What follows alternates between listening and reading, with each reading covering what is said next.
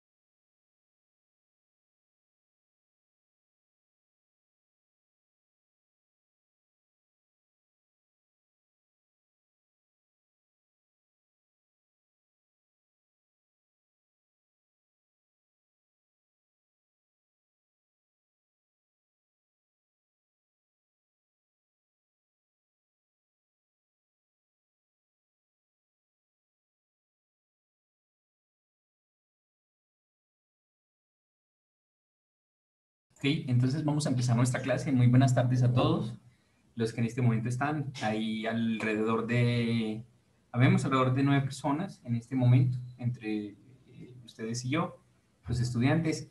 Eh, vamos a, generalmente empiezo a preguntar algunas eh, dudas que ustedes tengan generadas durante lo que ya hemos visto en, las clases, en las clases pasadas. Entonces, ese es el momento, este es el espacio para preguntar. Ya incluso eh, compartí la liga para aquellos que nos quieran ver eh, desde la transmisión en YouTube. Eh, hice, ya les compartí la liga por medio del chat.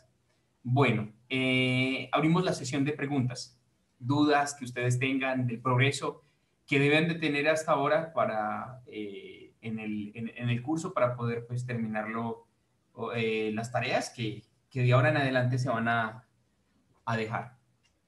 Habían varias cosas, muchas, yo creo que importantes todas, que, deberían de haber, debieron de haber ustedes eh, realizado. Eh, todavía no califico, espero de que pueda hacerlo durante el fin de semana, las tareas que ustedes me entregaron eh, de la primera sección.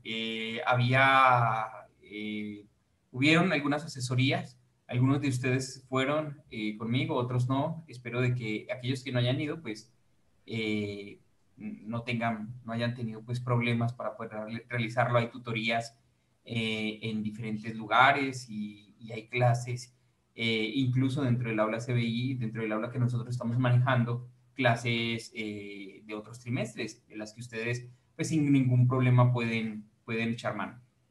¿Hay algún, algún compañero de ustedes? Fue la clase, fue la, en el horario de asesoría las, de esta semana, de miércoles, eh, de Antier y me eh, hizo algunas sugerencias sobre unos programas bastante interesantes. Déjeme decirle que yo voy a, hacer un video, perdóname porque hasta ahora no me acuerdo el nombre del compañero, de hecho me escribió dos veces, pero eh, quiero desatrasarme y ya quiero hacer las cosas bien, entonces para aquellos que todavía están como aterrizando o agarrando pista en esta en este curso. Quiero decirles de que hay muchas alternativas para hacerlo, alternativas que pueden ser las mismas que tuvieron en, Ficoquim, en, en Fisicoquímica 5, eh, y pues son, son, son, es lo mismo, ¿no? Es lo mismo. Todo eh, depende de, los gustos personales que tengan y de las herramientas computacionales incluso que tengan. Hay quien tiene su Mac, hay quien tiene eh, bueno, sistemas más genéricos, más, más tipo Unix. Hay quienes se acomodan con la máquina virtual y hay otros que están en Windows. O sea, eh, eh, son, es lo mismo. Simplemente quiero orientarlos para que se definan. esa es la moraleja de esta semana o de lo que pasó hasta ayer, antes de entregar la, la, tarea, que debieron de haber hecho. Es adoptar una forma de trabajo según su gusto personal y según también las herramientas que tengan. Pero todo, pues es lo mismo. Si en algún momento, eh, para aquella persona, para aquel compañero que, que, me sugirió el, el, programa que se manejó con el doctor Alejandre, eh, quiere, es, urge tanto que quiere que nosotros hagamos la misma demostración. La demostración en ese momento eh, en vivo, pues también estoy dispuesto a hacerlo. Así que pues, para mí, todo es lo mismo, simplemente es de gustos. Si trabajo en Windows, si trabajo en máquina virtual, si trabajo en este programa eh, de FICO 5, si trabajo en, en, máquina virtual, si trabajo en Mac, es lo mismo. O sea, todo, todo va a estar dirigido a que, eh, pues sencillamente, tienen una herramienta y, es, y son capaces de moverla, ¿no? De utilizarla de manera eficiente. Pero para mí, vuelvo y hago énfasis, es lo mismo, uno o lo otro. Bueno, entonces abrimos esta sesión de preguntas. ¿Hay alguien que todavía no haya, no haya podido realizar o se le dificultó la realización de la tarea, eh, de alguno de los incisos de la tarea? ¿Hay alguien que todavía no se ha definido por un programa personal, la forma con la que va a enfrentar el curso y en este momento se puede orientar? Eh, también no he visto participación en los foros. Eh, lo de los foros es sano, eh, no es obligatorio participar mientras que yo no lo indique, pero sí es importante porque entre todos nos vamos a, nos vamos a fortalecer y entre todos nos vamos a ayudar, incluyendo la persona, el estudiante que se ha adelantado y que, y que quiera participar con la respuesta de una sugerencia, de una duda que tenga su compañero. Y obviamente pues yo también voy a sugerir algunas cosas o voy a responder las preguntas. Eh, bueno, después de tanta especificación, eh, vuelvo a reiterar, ¿alguien tiene alguna pregunta sobre lo que hasta ahora llevamos? La asistencia bajó considerablemente. entre ustedes y yo. Bueno, hay 11 estudiantes y son 24 inscritos. Espero de que esta es la semana de, de bajas y altas, la segunda semana, ¿verdad? Bueno. No, fue la semana pasada. Ah, fue la semana pasada. Ok. Eh, bueno, entonces, ¿alguien? ¿Tiene alguna duda, alguna pregunta? ¿Sugerencia?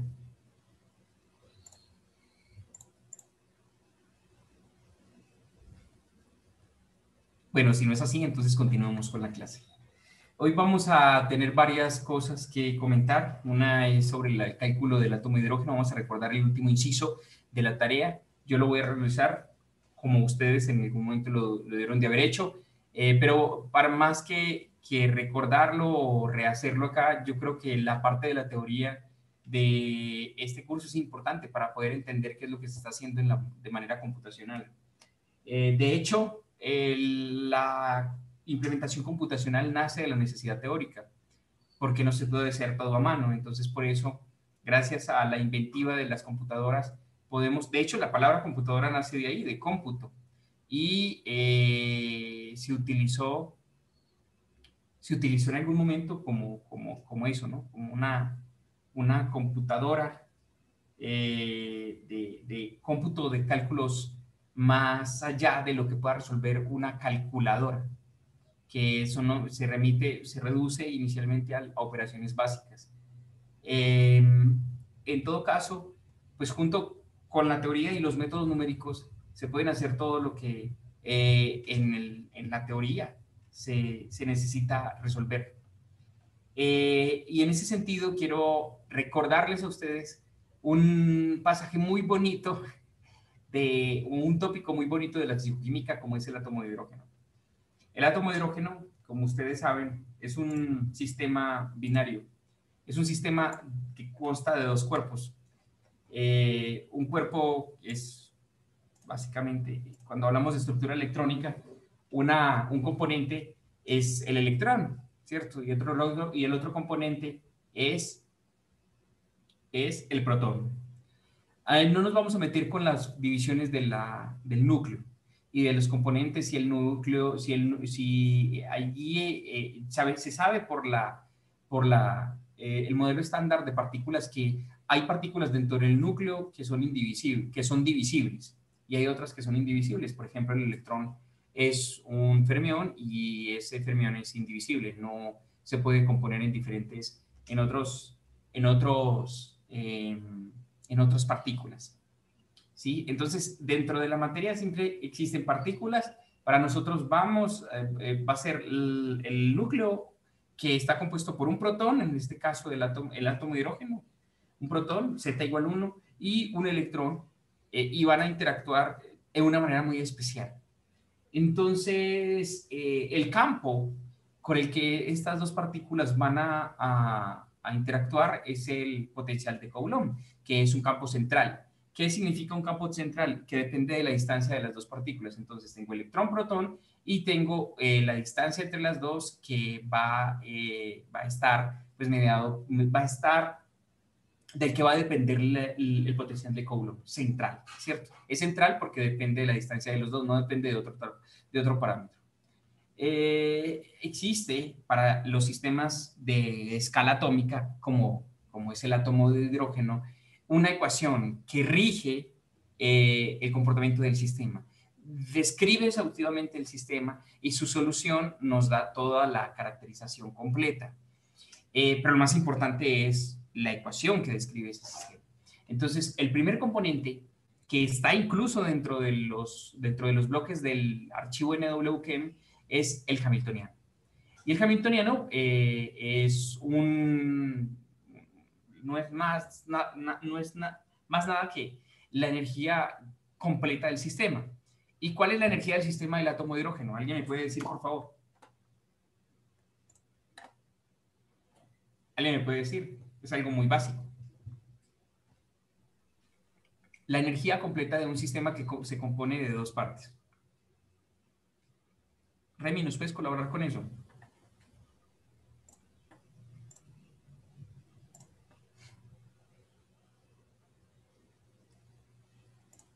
no hay respuestas tampoco tontas, todos podemos aprender de todos y, y, más cuando se equivoca uno.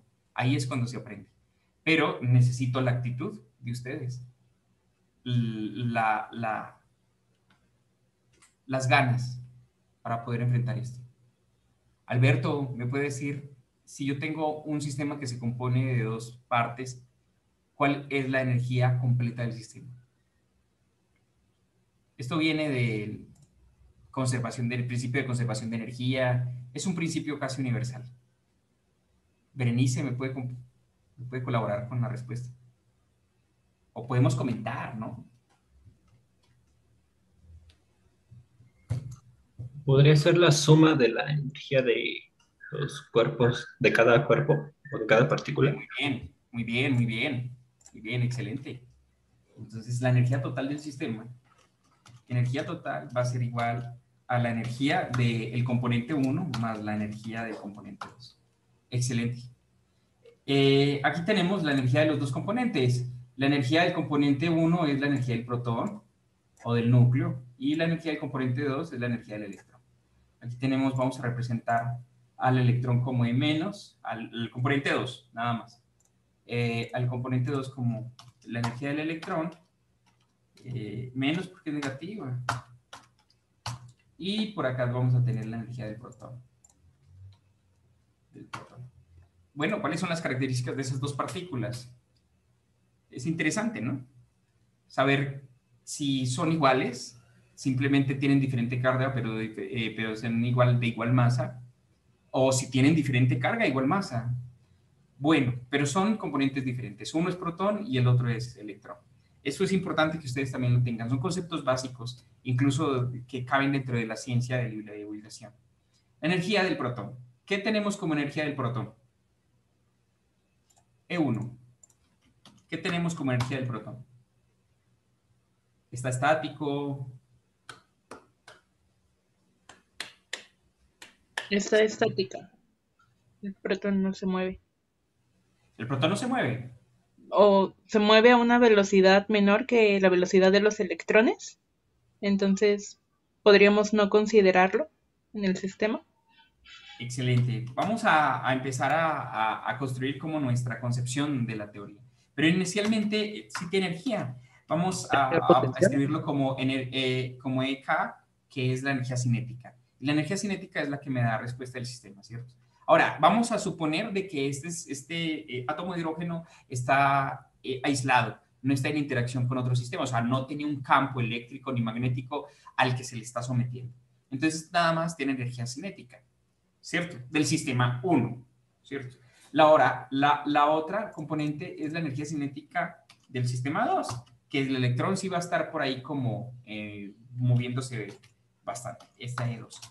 Eh, hay algo también, se puede ver de diferentes maneras, eh, con lo que podemos eh, incluso dividir, ponerle un, término extra a, este, a esta energía total, y es la energía de interacción.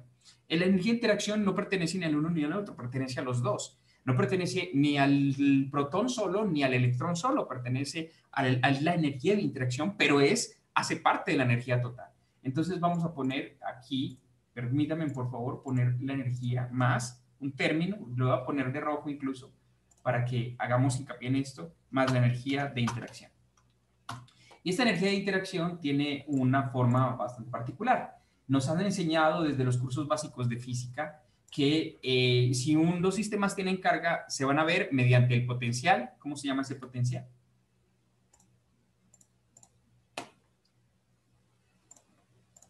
Si dos sistemas tienen carga, ¿cómo van a interactuar?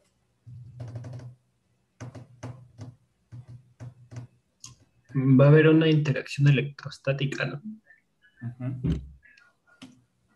¿Cómo se llama esa interacción electrostática? Vamos a darle crédito al que se lo merece. Potencial coulombico. Exactamente. Y tiene una forma eh, especial. Es inversamente proporcional al, es directamente proporcional al inverso del cuadrado o directamente, o directamente proporcional. Es directamente proporcional al inverso, perdón, de la distancia, de la distancia entre las dos partículas. De tal manera de que si, perdón por esta eh, eh, representación pictórica de, del, electro- del átomo de hidrógeno. Si tengo eh, un núcleo y tengo un electrón que está orbitando alrededor de él, tengo el electrón, el menos,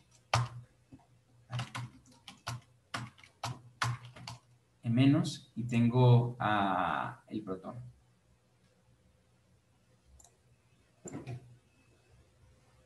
En el centro del núcleo. Sabemos eh, que realmente la mejor representación, tenemos el protón, la mejor representación para eh, el electrón, pues no es un círculo, ¿cierto? Porque eh, da la sensación de que el electrón está localizado. Realmente el electrón está en todas partes del espacio, bajo los postulados de la mecánica cuántica. Entonces, se habla, se habla de una nube de electrones, porque él puede estar en todos los puntos del espacio, menos en la misma posición en donde está el protón, porque ahí el potencial coulombico explota. Ahora, sobre lo que yo estaba comentando ahorita, que el potencial coulombico es inversamente proporcional, es directamente proporcional a 1 sobre la distancia. Donde la distancia, pues es la distancia que hay entre el protón y el electrón. Este es R. Pero si yo estoy en un sistema, vamos a representar ese sistema eh, inercial, eh, este es el sigma, o este es el eh, centro de coordenadas, en donde eh, puedo describir a el electrón en una, con un, respecto a un, con un vector R1, con un vector R1, y también puedo describir al protón con un vector R2. Aquí tenemos el vector R2. Entonces, R eh, precisamente es igual a eh, R es igual precisamente a, eh, siendo distancia, a eh, la norma, ¿cierto? La norma como distancia de R1, recordando esos conceptos básicos de mecánica, de, de álgebra lineal. La norma entre R1 menos R2. Entonces, este potencial coulombico, este R, se suele describir directamente proporcional al inverso de la distancia entre las dos partículas involucradas que tienen carga. Y, eh, ¿qué más puedo decir? Es R1 menos R2, ¿cierto? Es R1 menos R2. Siendo R1 menos R2 el vector que va desde la cabeza del vector R2 hasta la cola del vector R1. Y listo, eso es todo. Entonces, eh, se suele escribir así porque el sistema inercial no necesariamente puede estar en el. El cero del sistema inercial no necesariamente puede estar en el núcleo, sino que puede estar en cualquier posición del espacio. Eh, exactamente, pues sabe de que la constante de proporcionalidad entre la energía electrostática o el potencial de Coulomb es la constante de Coulomb, 8.85 por 10 a la menos 12. Eh, y, y listo. Ah, importante, también existe la fuerza de Coulomb, no solamente el potencial. Eh, y de la derivada de la fuerza viene el potencial de Coulomb y la fuerza pues tiene una dirección. Importante también que eh, recordemos de que si, eh, si el, el signo del potencial de Coulomb depende de si las dos cargas son del mismo signo o de signos contrarios. Si son de, signo, de iguales signos, el potencial es positivo, significa de que se están repeliendo las partículas, pero si, si, si los dos si son de signos contrarios, entonces el potencial es negativo, significa que las dos eh, eh, componentes se están atrayendo. Eh, alguien nos comentaba, creo que Diana Santiago, de que el, el, el, la aproximación, eso lo vamos a considerar dentro de nuestro tratamiento, de que la, el protón sea muchísimo más masivo que el electrón, conduce a una aproximación que se llama la aproximación de Bohr-Oppenheimer, en donde la energía total del sistema eh, va a depender paramétricamente de la posición del núcleo. Generalmente, pues todo en el, en el universo se mueve, aunque muy poco, pero sí se mueve, incluso los sistemas electrostáticos, y ahí se va a considerar ese movimiento, los sistemas atómicos, y se va a considerar ese movimiento como una perturbación del sistema. O sea, no contribuye completamente al sistema. Entonces vamos a tener configuraciones de las posi diferentes posiciones de los núcleos. Vamos a pensar en una molécula más grande, no solamente de un solo núcleo. Vamos a considerar eh, la energía del núcleo paramétrica, la energía del sistema, la energía del sistema molecular como para, mm, paramétricamente dependiente de, la, de las posiciones de los núcleos. Entonces, para cada configuración nuclear yo voy a tener diferente energía total del sistema. ¿Listo?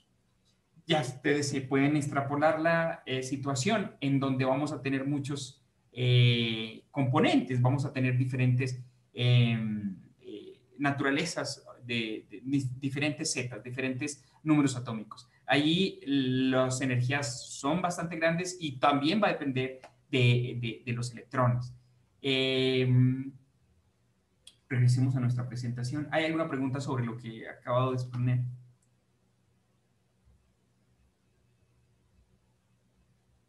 Ok.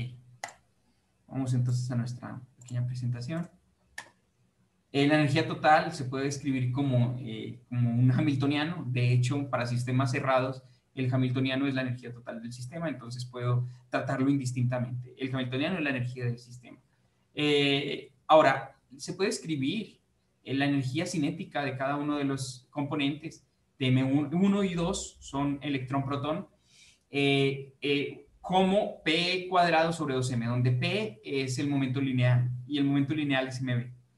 Ok, más eh, pues el otro componente, más la, la energía de interacción que es central, ya lo sabemos que es, la energía de interacción es la, el potencial de Coulomb. muy bien. Ahora, como estamos en sistemas, en la aproximación de sistemas cuánticos, eh, los momentos lineales se convierten en operadores. Los momentos lineales se convierten, eso se llama primera cuantización. Entonces debemos de reemplazar en esta aproximación de energía las eh, operadores, operadores cuánticos. El, el, momento lineal tiene que ver con el gradiente, ¿cierto? Ahora, como estamos, tenemos momento lineal al cuadrado, como tenemos p al cuadrado, entonces tenemos que eh, elevar al cuadrado todas estas operaciones. Aquí aparece el número i por consistencia de, las ecuaciones. Eh, es un poco eh, paradójico de que lo real, como es un sistema atómico, se, se, describa con números, con números imaginarios.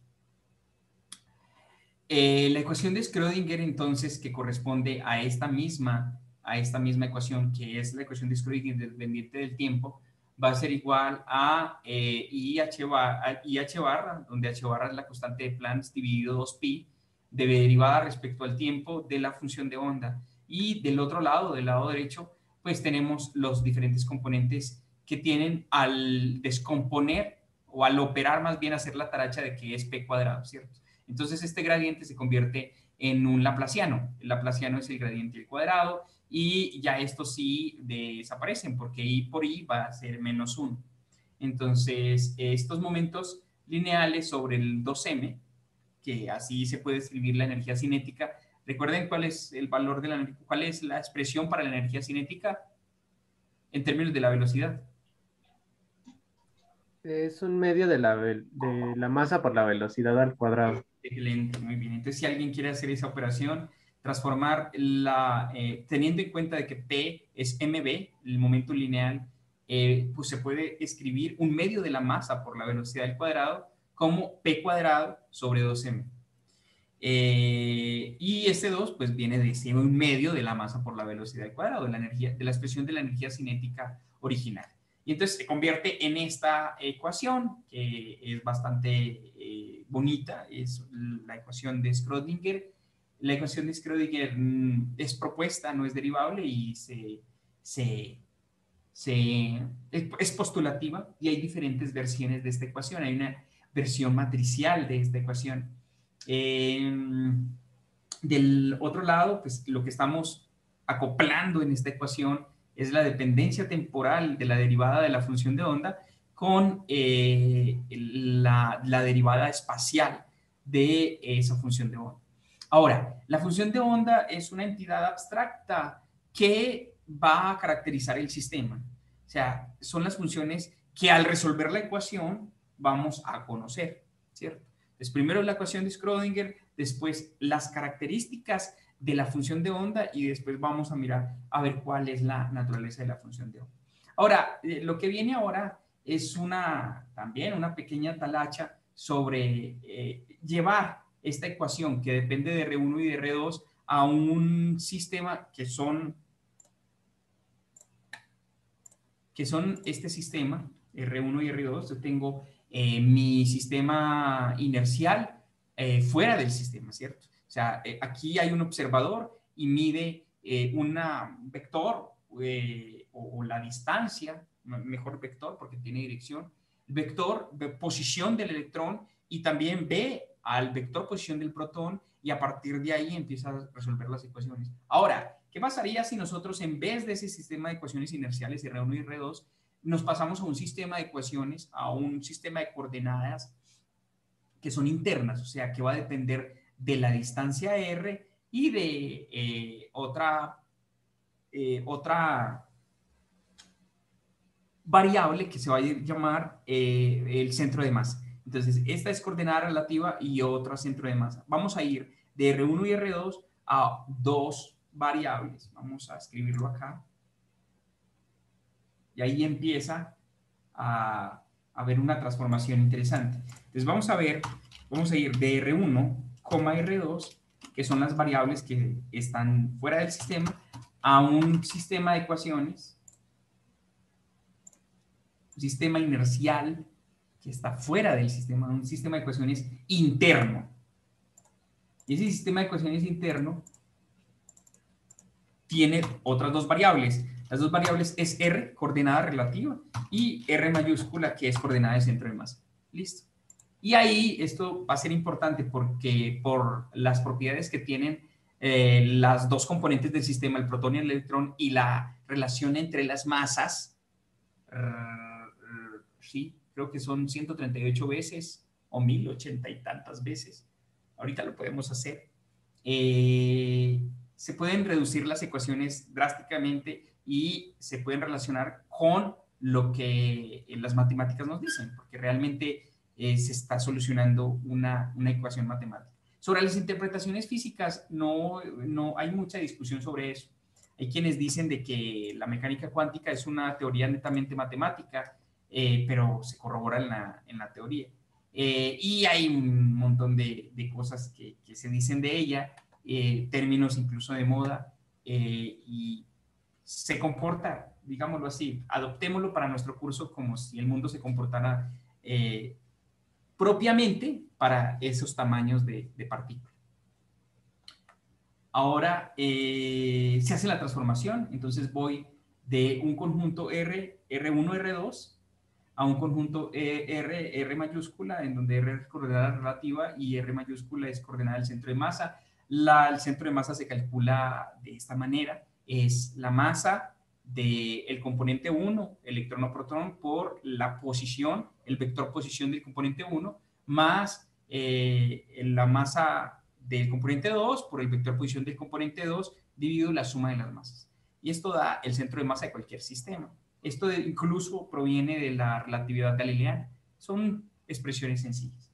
Bueno, se hace la talacha, se va de R1 a, se transforma que es R1 en términos de R, eh, R1 y R2, perdón, en términos de R, se despeja y se llega a que R2 eh, tiene que ver con R, R2, por ejemplo, este es R2, tiene que ver con R, R mayúscula menos una relación de masas, por R minúsculo. Y similarmente para R1 se tiene de que R1 es R mayúscula, R del centro de masa, más una relación entre las masas por R, R relativa, ¿verdad?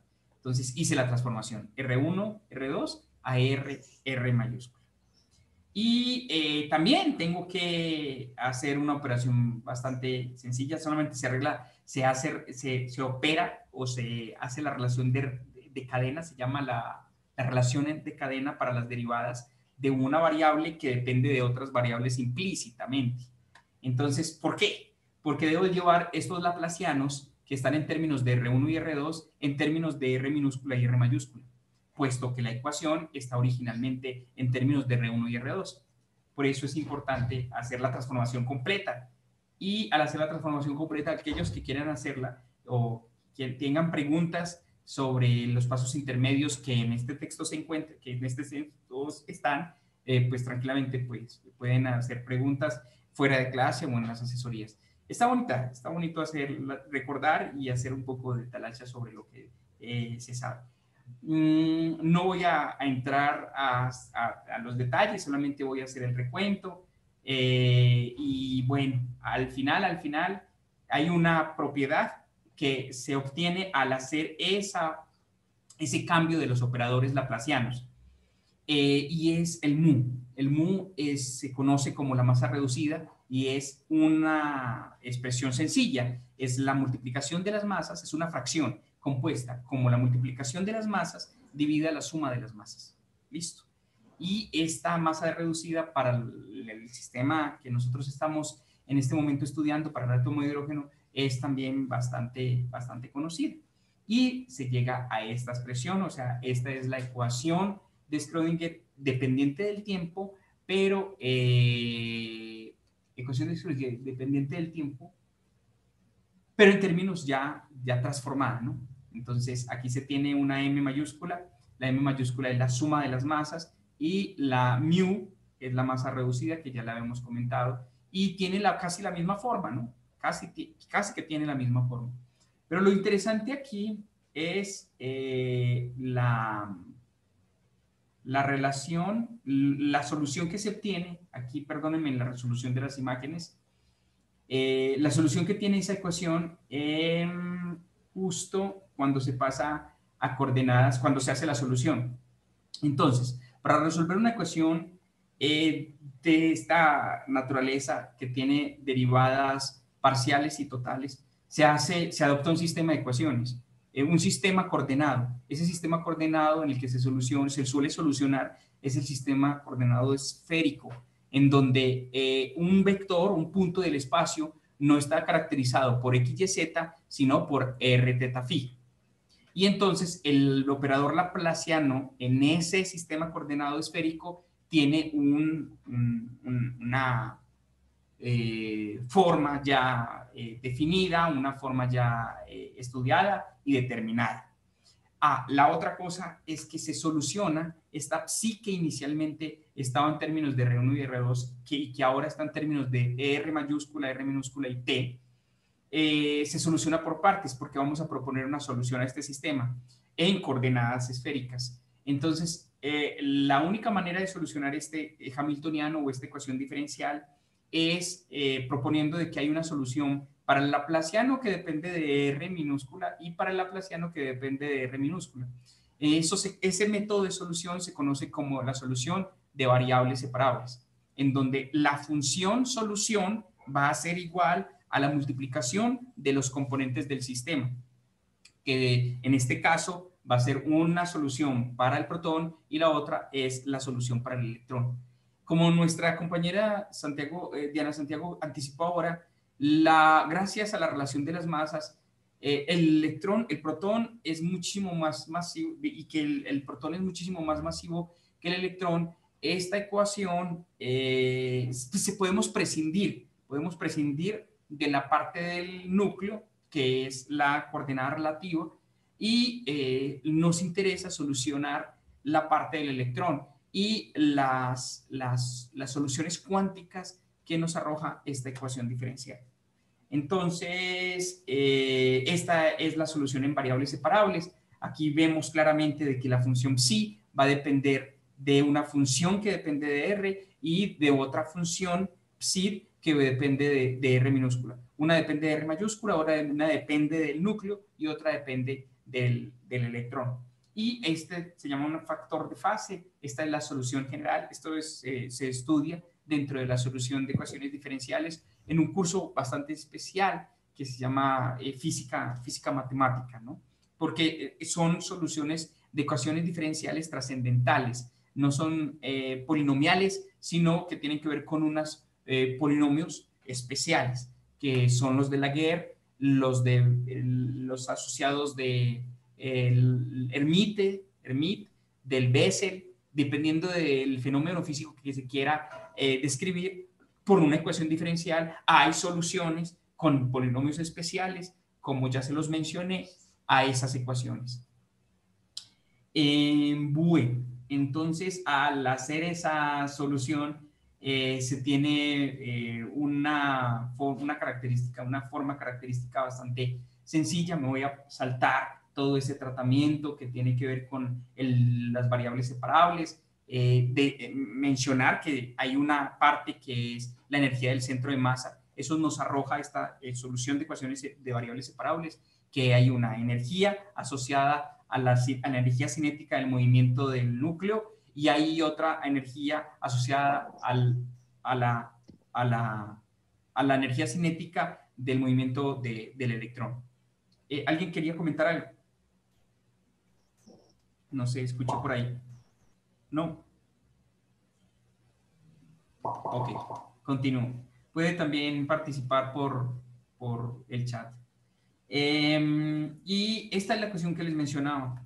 Eh, entonces, al hacer la separación de las variables para el electrón y para el núcleo, eh, la energía se desprecia, entre comillas, se desprecia la energía cinética del núcleo, del protón, y eh, se tiene la solución de la energía cinética, de la energía total, la energía total porque va a depender del parámetro, potencial va a depender del parámetro de la variable relativa, que es la distancia entre el núcleo y el electrón, y se va a tener, eh, se va a tomar esta como la energía total. Y ese término, interesantísimo es que ese término está absorbido en la ecuación del electrón y no del protón, del núcleo.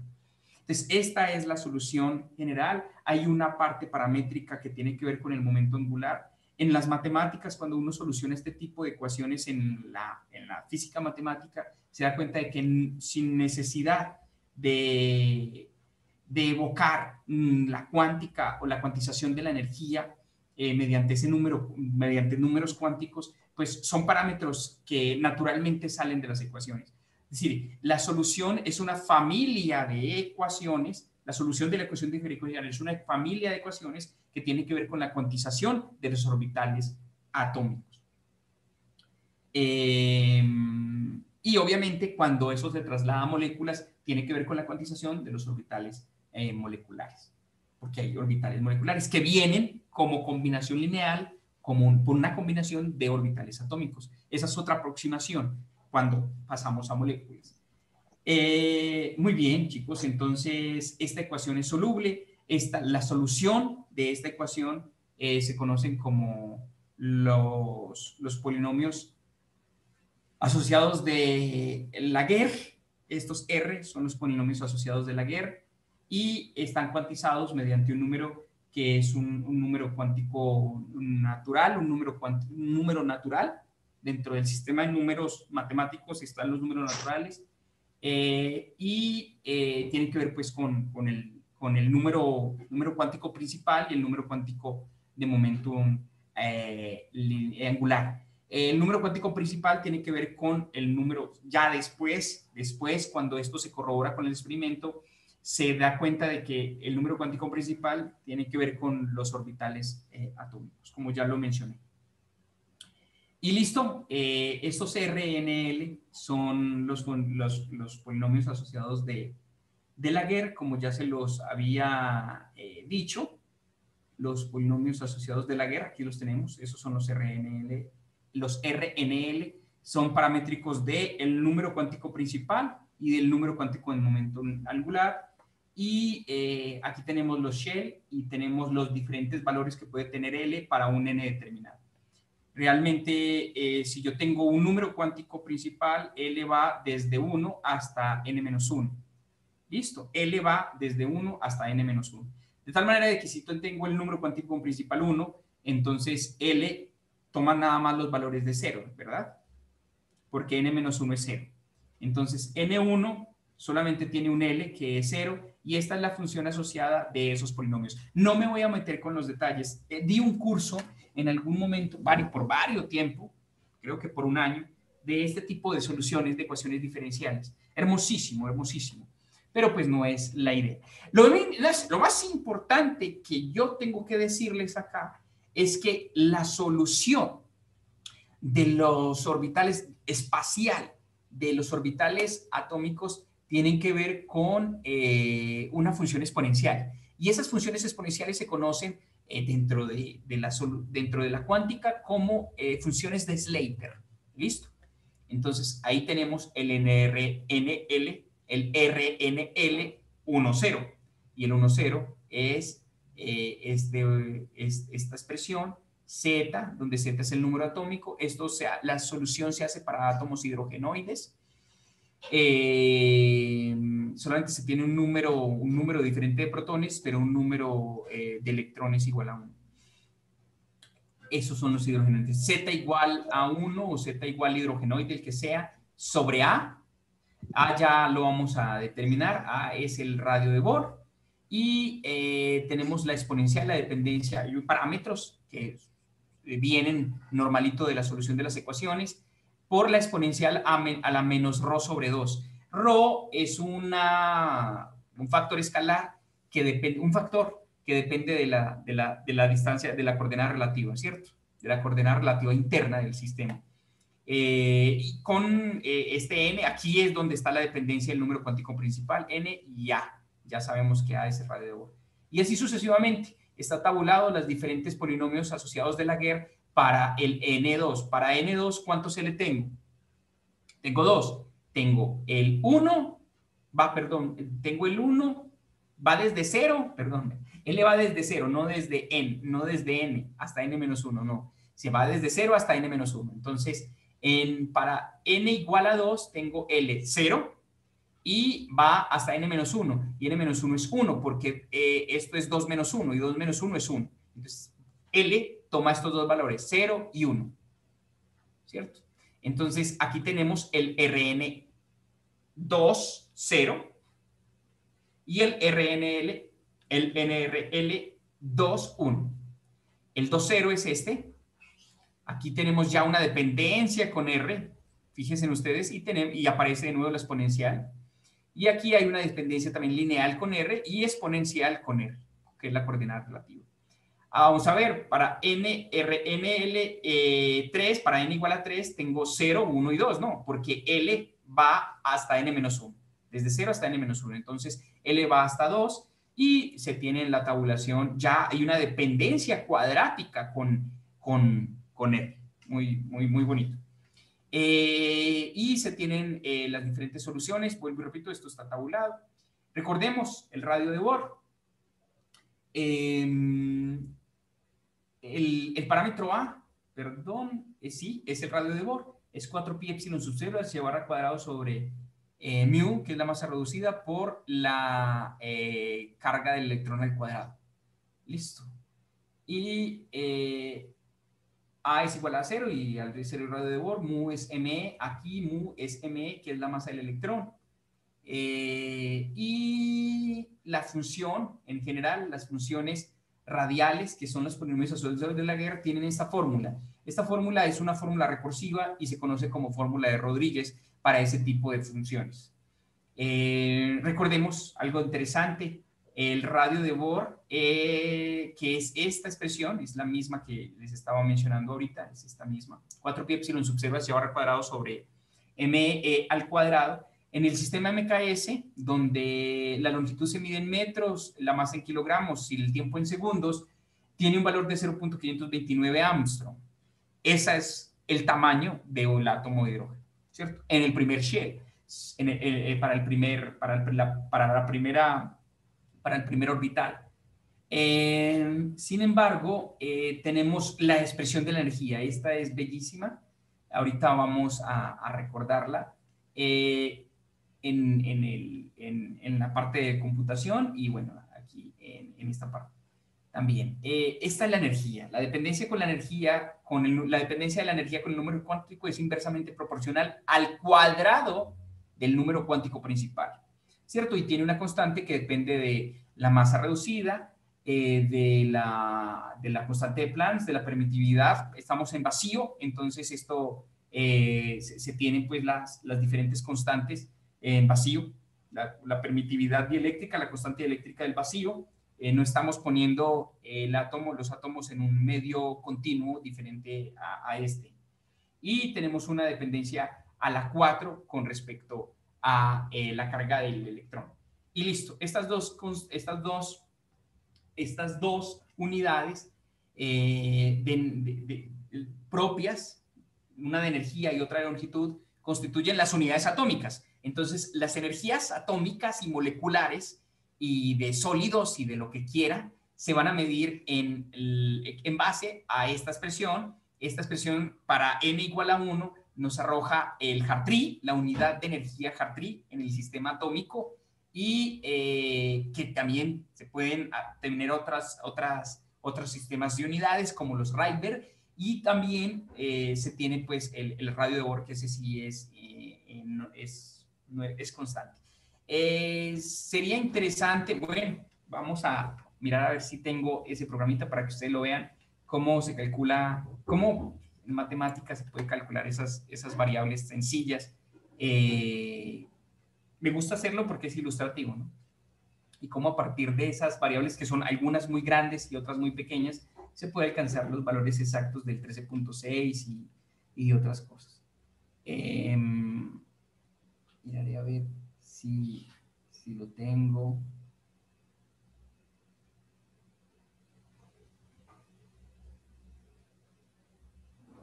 Función base.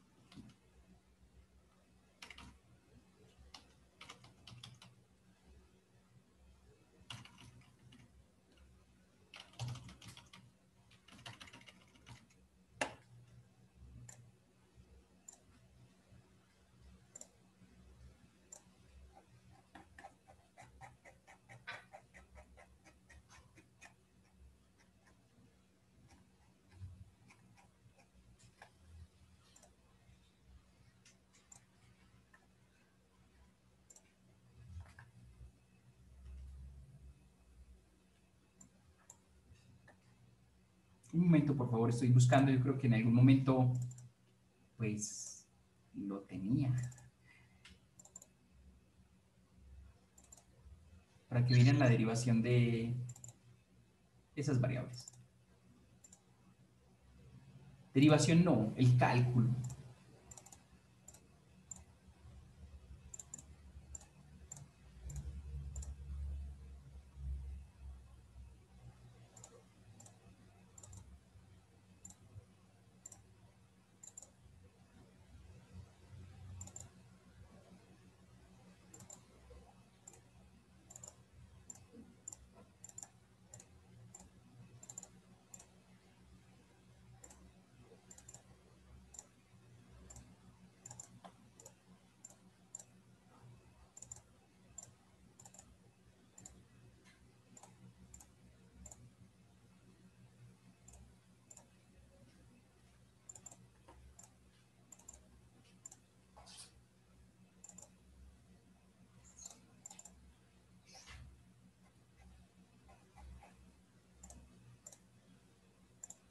Un momento, por favor. Si no, pues ya eh, lo buscaré y se los enviaré o los dejaré por ahí para que ustedes, el que quiera interactuar, lo, lo quiera, lo haga, lo reproduzca.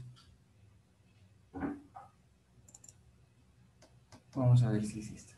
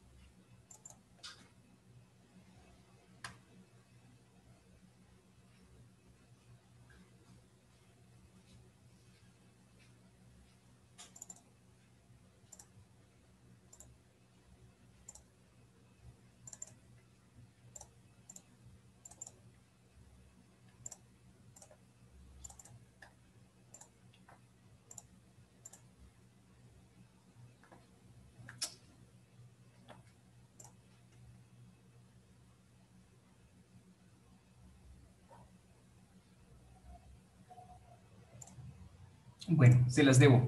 Em,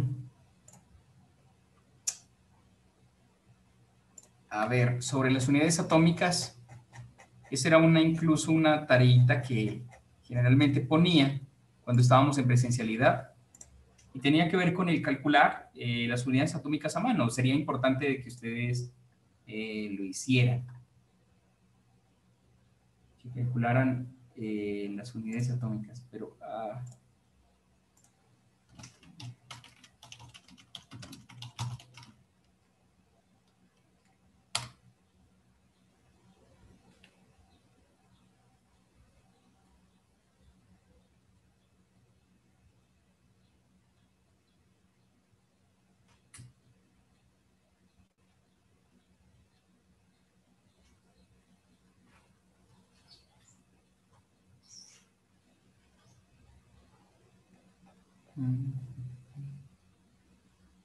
Estaba bonito como para ilustrarles y mostrarles eh, las variables, pero bueno, pues eh, no sé si en este momento elevarlo a, categoría de...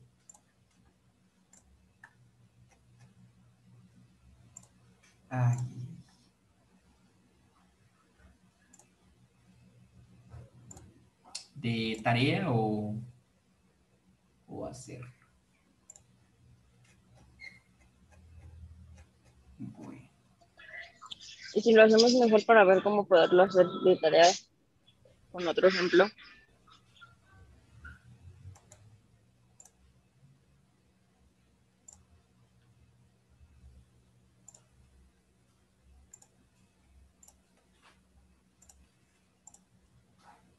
Bueno, entonces, eh,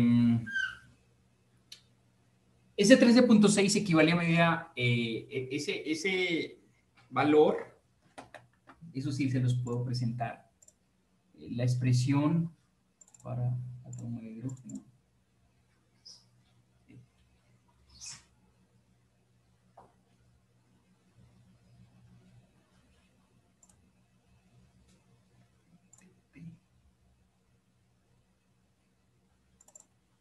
Eso sí los puedo presentar. Acá está.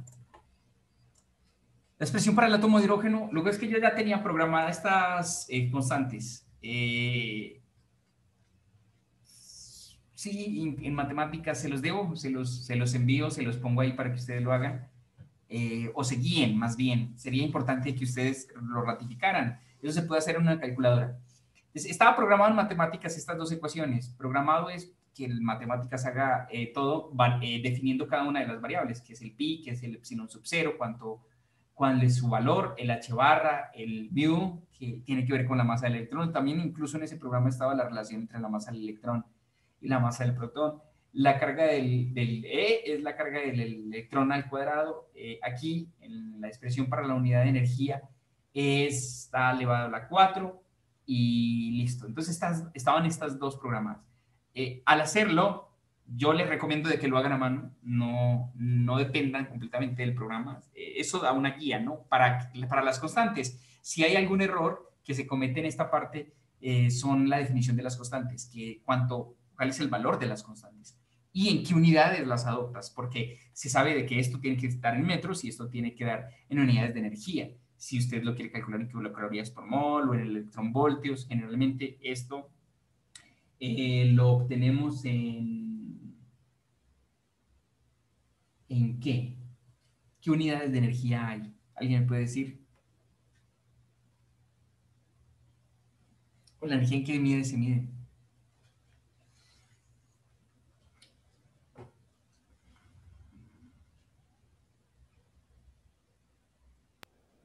Puede ser en joules. Aparte de los electronvoltios, pero los electronvoltios ya es una conversión. El Hartree. electronvoltio ya es una conversión de la unidad fundamental de energía.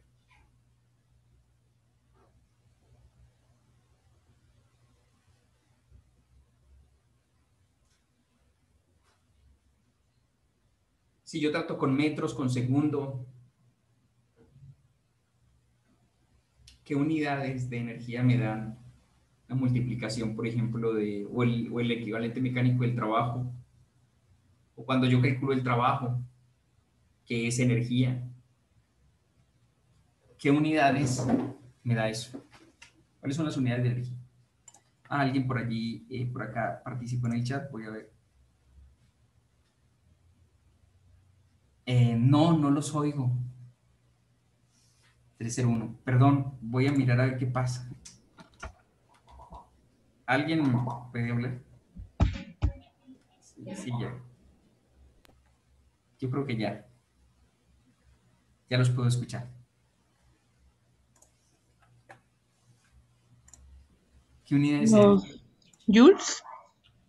Exactamente, los joules. Entonces, esto nos va a dar en joules y de hacer la conversión al esto es las expresión, la expresión de energía que yo les acabé de mostrar. Esta expresión de energía nos va a dar el joules y hay que hacer la transformación. Lo bueno es estar seguro de las cosas, ¿no? Corroborar y, que, y tener un, manejo completo. Listo. Estas dos unidades son fundamentales porque eh, en adelante nosotros vamos a hablar de, de, podemos hablar de Bohr, podemos hablar de Armstrong indistintamente. Ya saben que un Armstrong es 10 a la menos 10 metros, 1 por 10 a la, men, 1 por 10 a la menos 10 metros, y eh, que un Bohr, que un eh, Hartree, perdón, que es la unidad de energía, un Hartree, es eh, 27.2 eh, 27 electrón eh, voltio. Y medio Hartree es 13.6. Medio Hartree. 27.2 y 13.6. Listo. Entonces, corrobórenlo, corrobórenlo. Es importante. Eh, de hecho, eh, solía hacer preguntas así como cuál es la energía del segundo orbital atómico, de el tercero, del cuarto, qué relación hay entre la energía del segundo o tercero y primer eh, or, orbital atómico para el átomo de hidrógeno. Entonces, jueguen con eso, es importante saber tener como maniobra de las magnitudes que nosotros estamos man, manipulando, que nosotros estamos obteniendo en el curso. El programa lo hace todo en... se puede especificar la geometría en Bohr o se puede utilizar o, especificar la, geometría en Armstrong, pero que sepamos ir de un a otro sistema. Y esto se hace por el acomodo. De hecho, hay una versión de este tratamiento que yo les comenté en nada más con unidades atómicas y es más fácil tratar con la unidad de energía eh, EN, poner EN y saber que e, un EN es lo que ya he dicho, que no poner todas las constantes. O sea, se hace por, simplicidad, por simplicidad computacional y también teórica, manuscrita. Ese es el objetivo de trasladar de un sistema de unidades de medida a otro. Simplicidad, nada más. Queremos que la vida sea más fácil. Eh, ¿Hay preguntas hasta aquí?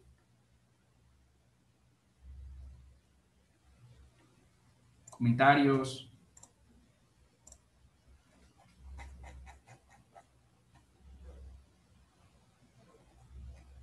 Bueno, entonces, en conclusión. Ok, en conclusión, eh, nosotros para hacer el cálculo de un eh, sistema en la computadora requerimos del hamiltoniano y la función base. Eh, no voy a comentar más sobre la función base, ahorita nos vamos a dedicar a la parte demostrativa. Hamiltoniano y función base, eso es lo que necesitamos. ¿Listo? Hamiltoniano y función base. Hamiltoniano y todo es numérico. Entonces, sabemos de que todo viene de la ecuación de Schrödinger independiente del tiempo y esa ecuación de Schrödinger necesita hacer, sobre esa ecuación de Schrödinger se necesita hacer varias, se necesitan hacer varias aproximaciones, porque numéricamente y también analíticamente es más práctico hacerlo. Las soluciones exactas no existen. Tomen en cuenta de que para nosotros poder solucionar el átomo de hidrógeno tuvimos que hacer una separación de variables y tenemos incluso que aproximar a nulo, a cero, casi la, energía cinética del de el núcleo. Por lo tanto, pues es una muy buena, es, es importante mencionar y, hacerles conciencia de que estos son aproximaciones. Muchas veces están cerca del experimento y si no, pues hay que revalidar, la, el, reconsiderar la teoría, hacer reparametrizaciones, mirar a ver qué variables depende no, mi aproximación para hacer una, uh, cada vez una teoría más exacta. ¿Listo? Entonces, esta es la ecuación de Schrödinger, depende paramétricamente de los núcleos de manera general.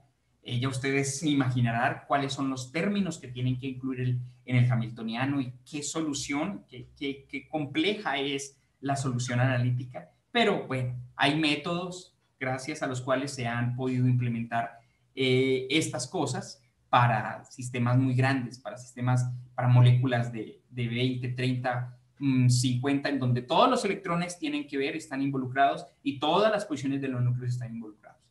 Es interesante.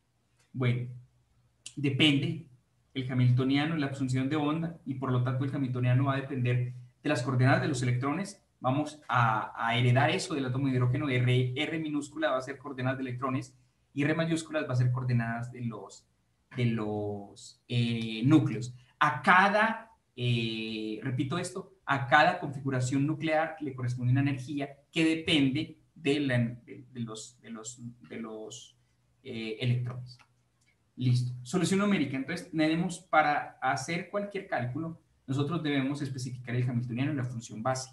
La función base son esas eh, funciones de los polinomios asociados de la guerra, pero numéricamente se tienen que adoptar varias vertientes. Una que son los, los pseudopotenciales, los pseudopotenciales y otros que son las funciones de onda gaussianas o localizadas. Las funciones de onda gaussianas o localizadas. Las pseudo, las, los, las, los potenciales efectivos eh, o potenciales que les mencionaba son funciones de onda planas. Entonces, para resumir, una son funciones de ga- gaussianas. Una gaussiana es una exponencial que tiene menos como argumento, menos una constante por r al cuadrado. Esa es una gaussiana. Y una función de onda plana tiene exponencial menos eh, una constante por r, nada más. Entonces, la diferencia numérica y numérica y computacional es muy grande. Las funciones de onda plana son más costosas porque son las funciones de onda, son las funciones exactas del sistema. Son muy costosas computacionalmente de tratar. Y las funciones de onda tipo gaussianos son muchísimo menos costosas y pueden tener, en algunos casos, la misma descripción que la función de onda plana. La función de onda plana es más acercada a la solución analítica. Recuerden que la solución analítica tenía una exponencial con una constante y r, una dependencia de r, no de r cuadrado. Pero eso se, la, la, traducción de una función de Slater a una función de gaussiana se hace gracias a que eh, el conjunto de ondas gaussianas es un conjunto completo. Ya les voy a explicar eso en este pizarrón. Entonces, aparte, nosotros necesitamos especificar eh, la función de onda. Ya tenemos el hamiltoniano y la función de onda. Más bien, hay que también explicar lo del hamiltoniano, función de onda. En la función de onda tenemos dos vertientes.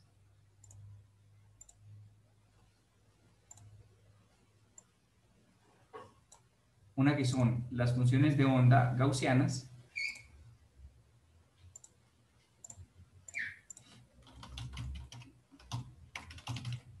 y otras que son las ondas planas. Las ondas planas,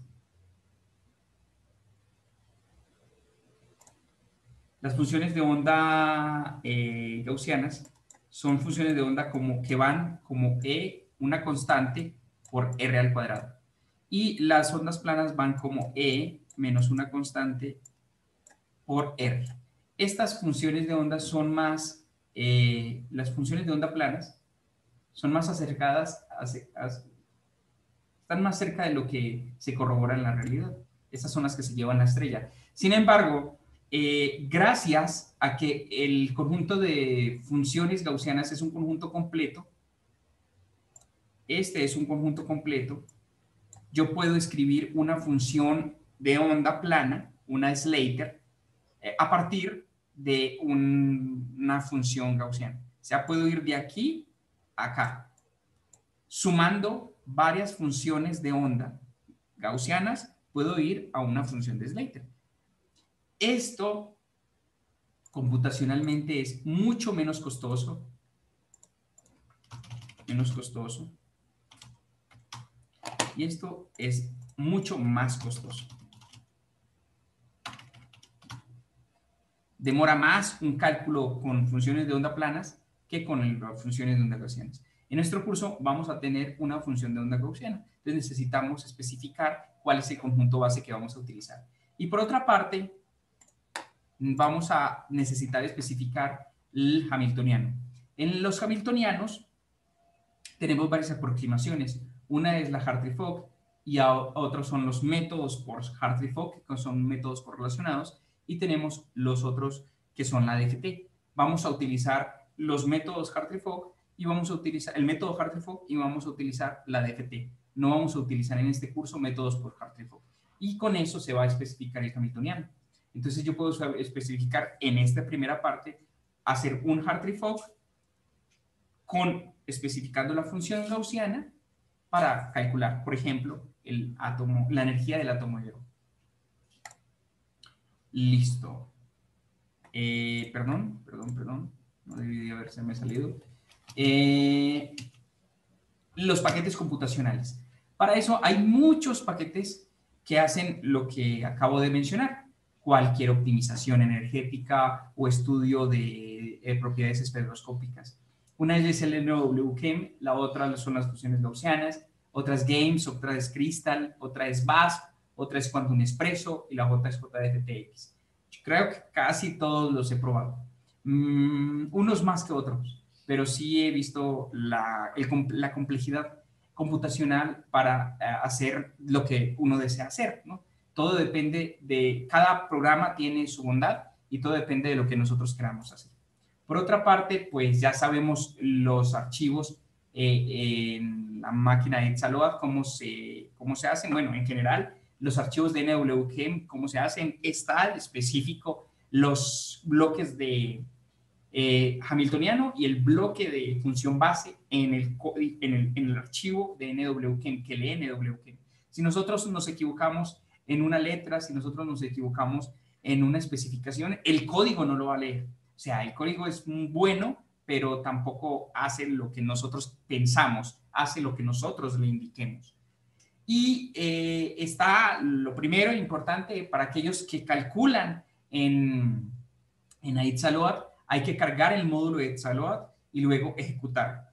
Entonces, cargamos módulo y luego ejecutamos y eh, especificar también eh, la, parte de, de la de el nodo de cálculo, ¿no? NA y el nodo de cálculo, no el número de usuario.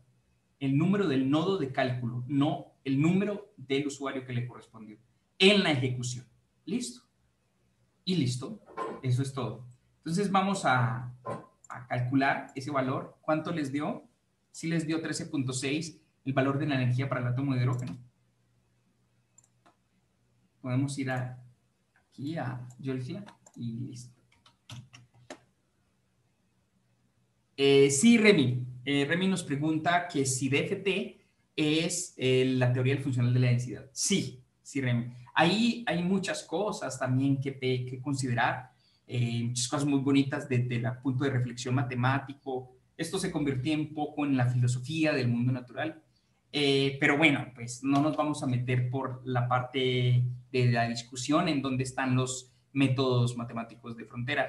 Sin embargo, es importante mencionarlo, ¿cierto? De que hay, todavía está en continuo proceso la descripción de la materia a nivel atómico y molecular. O sea, eh, no se sabe, no hay una receta infalible de cómo se pueda hasta tener una teoría que describa eh, el, el todo, pero dentro, vamos a limitar el todo dentro del mundo de la estructura electrónica, dentro de los átomos y las moléculas.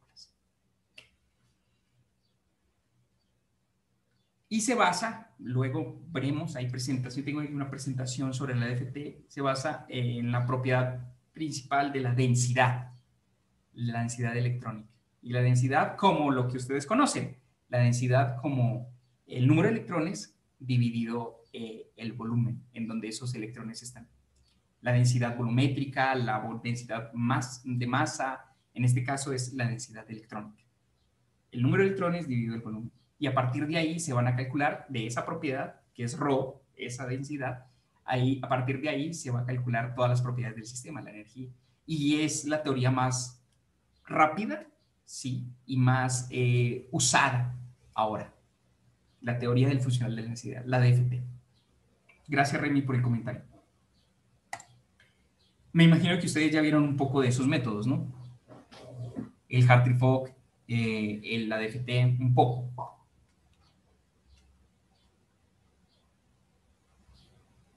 Ok. ¿Sí los vieron? Yo un poquito nada más. Ok. En alguna fisicoquímica, me imagino. Pues sí, en parte este. Bueno, la DFT no, no me la enseñaron aquí, la aprendí aparte, pero, pero sí, en la fisicoquímica. Ok, va. Entonces vamos a hacer la parte práctica de esto. En módulo A. Ah, perdón. Primero me logueo. Voy a ingresar. No estoy en Ait Salot. Entonces todo lo voy a hacer en Ait Salot. SSH menos P 3031 menos L. Eh, voy a ingresar con el, mi usuario principal, que es alog. Eh, 148.206.50.65. Y eh, voy a, a ingresar. Listo. Eh, aquí tengo varias cosas. Yo podría decir mkdir, átomo de hidrógeno, como para empezar. Átomo. Los folder, usted tendrá una carpeta, ingresará a esa carpeta y podrá hacer lo que yo voy a hacer una vez ingrese a su carpeta. Los folder, chicos, son, eh, se, se, suelen nombrar con la primera letra como mayúscula para que se distingan de los, de los archivos. Átomo de hidrógeno. Voy a ingresar a átomo de hidrógeno, ahí estoy, y voy a crear el archivo. ¿Alguien me puede ayudar con el archivo? Atom, eh, Hartree, voy a poner la Hartree. En vez de átomo de hidrógeno, voy a ponerle este Hartree. Importante, eh, la, extensión. La extensión es el sufijo que lleva los archivos. En este caso, para poder que lo lea NW, KEM, necesitamos poner la extensión eh, .nw. Listo. Para, nada más estamos recordando, esto es para ustedes muy sencillo. Eh, ¿Qué les puedo comentar? Aquí, el primero, ¿qué es lo que, ¿cuál es la primera línea que debo poner? Para los que hicieron la tarea. Lo primero es un, es un título, ¿no? Conforme dice el documento. El título es genérico. Cálculo de la energía del átomo de hidrógeno.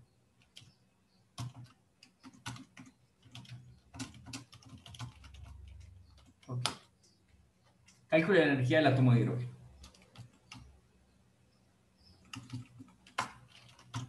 Alguien lo puede poner más contraído, eso es independiente. Exagero para que vean ustedes que tenemos eh, eh, flexibilidad. Bien, luego viene eco, ¿no? Qué bueno, eco es para los que quieran tener en el output el input. Y ahí se puede controlar los errores. Si no, algo no corre correctamente es porque el input está en, en mal especificado, NW no lo lee, pero NWChem no lo lee y podemos desde el output ver qué errores cometimos en el input. Entonces, puedo aconsejar el eco. Luego, ¿qué bloque viene? El primer bloque. La geometría. El bloque de geometría, geometría. ¿Qué viene en la geometría? La geometría viene la especie atómica que está involucrada en la molécula o en, los, en este caso en los átomos. Es un cálculo muy sencillo. Y después viene eh, eh, la posición en donde está ese átomo. Entonces lo voy a poner en 000. Eso significa en las coordenadas que yo le especifique en la geometría. Eh, aquí hay algo que comentarles. Aquí hay un espacio, estoy bailando en este espacio. Eh, puedo especificar de que la geometría esté en unidades atómicas o en unidades eh, o en Armstrong. ¿Cómo especifico eso?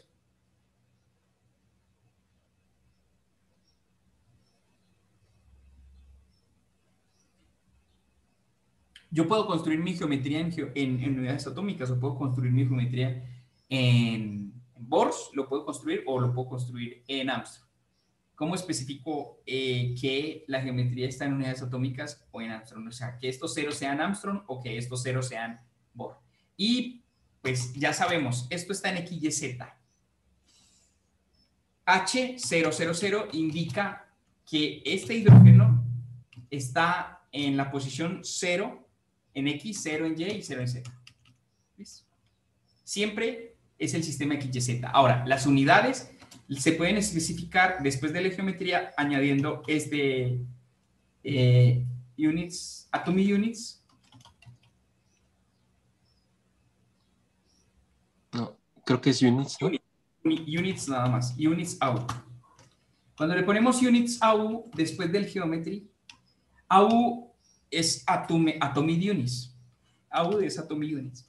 Entonces, si tú después del geometría le pones así como está escrito, como está indicado, units AU, entonces indicas a NWChem que estas posiciones XYZ de cada una de las especies atómicas que están en la geometría, en el bloque de geometría, están en, atomi- en unidades atómicas, o sea, en Bohr. ¿Listo? Bueno, hago esa salvedad. Nada más para... En este caso, si no lo pones, entonces se especifica, se entiende por, defecto de que está en Armstrong. Y luego, pues no tengo nada más que especificar en la geometría, sino poner un M. Luego, ¿qué sigue? ¿Qué bloque sigue?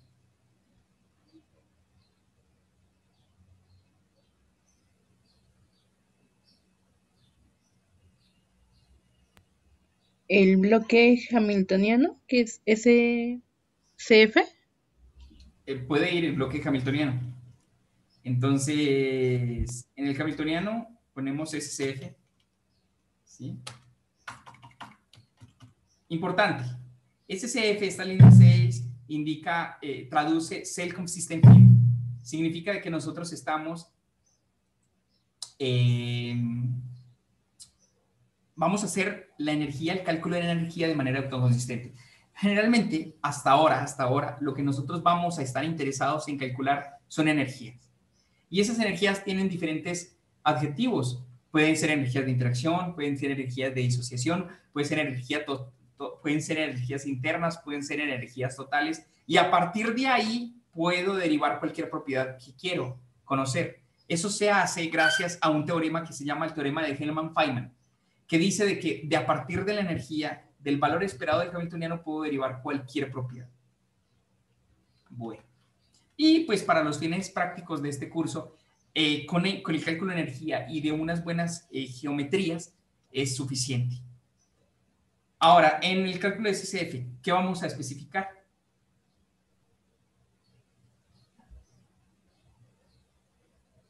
Vamos a hacer un cálculo Hartree-Fock. Vamos a indicar, les voy a indicar de que si tenemos un sistema de capa abierta, como es el átomo de hidrógeno, eh, entonces vamos a utilizar la no restringida Hartree-Fock. Este UHF traduce un restricted Hartree-Fock y es para sistemas de capa abierta. Listo. Va mejor para sistemas de capa abierta. ¿Qué más?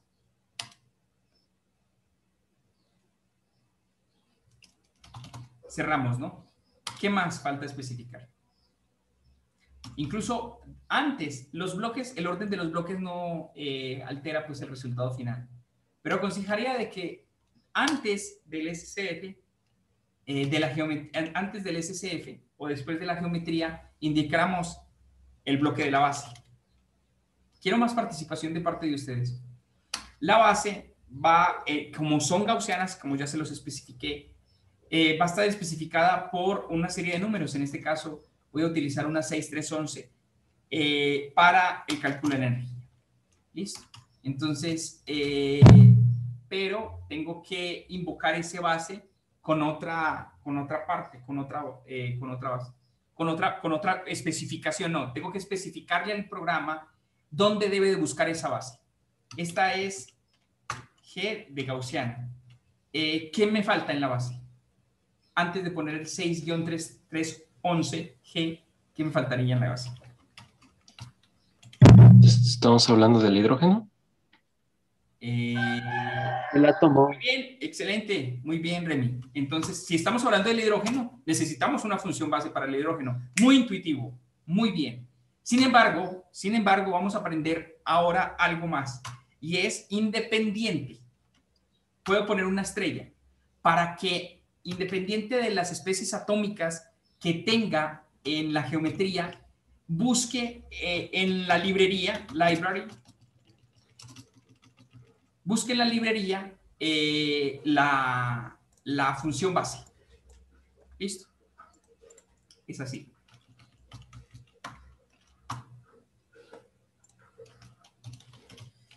Listo. Entonces, ¿qué indica esto?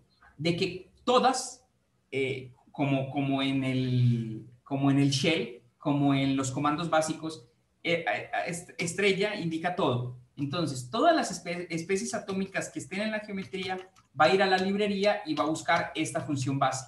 La función base 6-311G estrella y ya. G viene de gaussiana y esta 6 es que para la primera función, para el primer orbital atómico, voy a utilizar 6 gaussianas. Voy a sumar 6 gaussianas para formar el primer orbital atómico, ¿cierto? Ya sabemos de que la filosofía era sumar orbitales atómicos gaussianos para poder representar una Slater, una exponencial. Eso lo vamos a ver la clase pasada porque ya el tiempo está agotándose. Sí tengo, en este caso sí tengo ya ubicado el programa que ilustra y visualmente ustedes pueden ubicar cómo al agregar diferentes más funciones gaussianas puedo obtener una representación de una Slater bonita, de una función eh, exponencial normal o una, o una onda plana. Listo. Eh, ¿Qué más? Después de especificar esto, ¿qué más puedo hacer? Eh, la multiplicidad. La multiplicidad. ¿Cómo em, especifico la multiplicidad de spin? Pues en este caso es un electrón, sería un doblete. Ok, pero ese, la multiplicidad, ¿dónde va? ¿Está en el- Eh. dentro del bloque SCF o tengo que abrir un bloque de multiplicidad? En el SCF. Ok, excelente. Entonces, el bloque SCF en esta configuración, en esto que están viendo ustedes en, en la pantalla, eh, tiene una primera línea que es la 10, tiene, una, y tiene la especificación del hamiltoniano y vamos a ponerle un, un doblete. Es doble, doble. Es un doblete. Entonces, hemos especificado geometría, función base y el hamiltoniano. Y finalmente, ¿qué debo de especificarle al programa?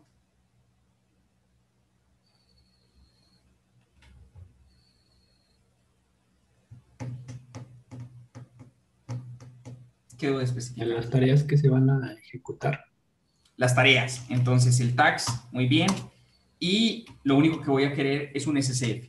Puedo optimizar, pero en este caso, ¿qué optimización geométrica voy a tener sabiendo de que solamente tengo un átomo de hidrógeno? No optimizaría nada. Entonces, lo dejo como una cálculo de energía simple, porque no hay ángulos de enlace, no hay eh, distancias de enlace, ni ángulos diederos a optimizar. ¿Vale? Todo está entonces especificado. Eh, ¿Hay alguna otra pregunta que quieran hacer? ¿Algo que no haya quedado claro? Ah, yo tengo una, profe. Eh, estaba, bueno, revisé el input y en la línea 2 también eh, dice, bueno, va un start y H. Eso, ¿por qué no lo estamos poniendo aquí? ¿No es necesario? Ah, el start. Sí, el, el start. Ok. Em, importante. El start generalmente es para hacer restar, para hacer eh, cálculos desde un cálculo previo. Podremos, podríamos, podemos ponerle el start. El start. Y eh, hay unos archivos temporales que los programas van a guardar. eh, sus rutinas que los programas guardan porque los necesitan en pasos siguientes. Aquí no es necesario, sin embargo, vamos a, a poner eh, para indicar, para que ustedes vean que se van a generar algunos archivos, se van a generar algunos archivos con ese título que ustedes pongan en, en Start, vamos a ponerlo hidrógeno. Y desde a partir de ahí, de, esos, de ese Start, eh, podemos hacer restar de programas. Por ejemplo, si tengo un cálculo, el cálculo se colgó porque se fue la luz, porque se estropeó cualquier otra cosa, porque incluso no alcanzaron los criterios de convergencia, porque yo especifiqué dentro del input el tiempo y los pasos en el que se debería de, se debía de haber, se, sacó el cálculo. Entonces, no hay problema. Lo que nosotros hacemos, chicos, es hacer un restar a partir del el título de los archivos generados con el título de estar. ¿Listo? En este caso, con el título de hidrógeno. Vamos a ver. WQ, entonces ya tengo el archivo para hacer la ejecución. Primero tengo que, primero tengo que cargar módulo load hidrógeno. Módulo hidrógeno. Y él carga el módulo de NWG, o sea, carga el programa. Ahora voy a hacer la corrida. ¿Cómo hago la corrida? Es MPI exe punto hidra, ¿no? ¿Qué más? Ejecución MPI. MPI es multiparalel, multiparalel eh, processor, o no me acuerdo muy bien del I, pero lo que hace es mm, enviar cálculos paralelos en una máquina que tiene diferentes core, que no es, eh, que, que, tiene diferentes unidades de procesamiento, o la unidad de procesamiento es compartida. Eh, esto se hace porque pues lo que ahorita está mandando la parada y lo que se hace en la realidad es eh, aprovechar el recurso computacional y mandar en, multo, en múltiples score un, un, solo cálculo para que termine más rápido. O sea, eficiencia de cálculo, nada más. ¿Qué sigue? Lo que vamos a hacer es invocar ese mpx.hydra, el, el paralelizador para el que paraleliza los cálculos y llamar al NWChem porque el NWChem está basado en cálculos paralelos. Entonces soporta esa eh, interfase paralelización. Eh, ¿Qué más? Digo, especifico el nodo, ¿no? ¿Cómo especifico el nodo? En este caso voy a calcular, si quiero calcular con el nodo 14, ¿cómo debo de especificar que voy a calcular en el nodo 14? Si yo tengo el nodo 14, por ejemplo. Eh, bueno, antes faltaría el guion host. Ah, ok, muy bien. Menos host. El host es del menos host es el de el del, el del nodo, perdón, la especificación del nodo. Menos host. Y aquí viene el nodo, que es NA14. Muy bien. Después viene el número de procesos el número de cores. En este caso lo voy a enviar con cuatro cores. Y luego el programa NWKM. Luego viene el input. El input es el hartree.nw. Así lo quise llamar. NW. Después símbolo de peso y el ampersand. Y luego la salida en este caso, out. Listo. Y lo voy a enviar en background. Significa que yo no voy a ver nada y voy a seguir eh, utilizando la máquina. La, voy a seguir utilizando la, la consola, la terminal. Listo. Aquí me da un número. Este número es el número de procesador, de, en el número en el que se fue el cálculo, asociado al cálculo que yo envié. Vamos a darle ese dice que ya terminó y vamos a ver qué pasó. Heartbeat.out. En la salida voy a visualizar qué es lo que tengo. Eh, ¿Qué es lo que vemos primero? Un protocolo. Significa que primero, esto es lo que hace el eco. Está el input. Eh, TAS SDCF, muy bien. Y ahorita eh, vamos a ver el protocolo, o sea, está leyendo el programa, NWChem, la versión del programa, algunos datos generales del programa, de la licencia general, de dónde se construyó, de dónde se, se, hizo, el reconocimiento a, a, alguien, a algo. Eh, por acá dice de que es el Departamento de Energía de los Estados Unidos y un contrato y es soportado y un montón de cosas. Esto es importante porque cuando ustedes hagan el cálculo, pues aquí va a leer el host name, que es el, el número de, eh, de procesador, de procesador no, es el número de, el host es el nodo de cálculo. Entonces le corresponde el NA14. Eh, el número, este último número es el número que le correspondió de, de nodo a cada, a cada uno de ustedes. Y está la fecha en la que se envió el cálculo.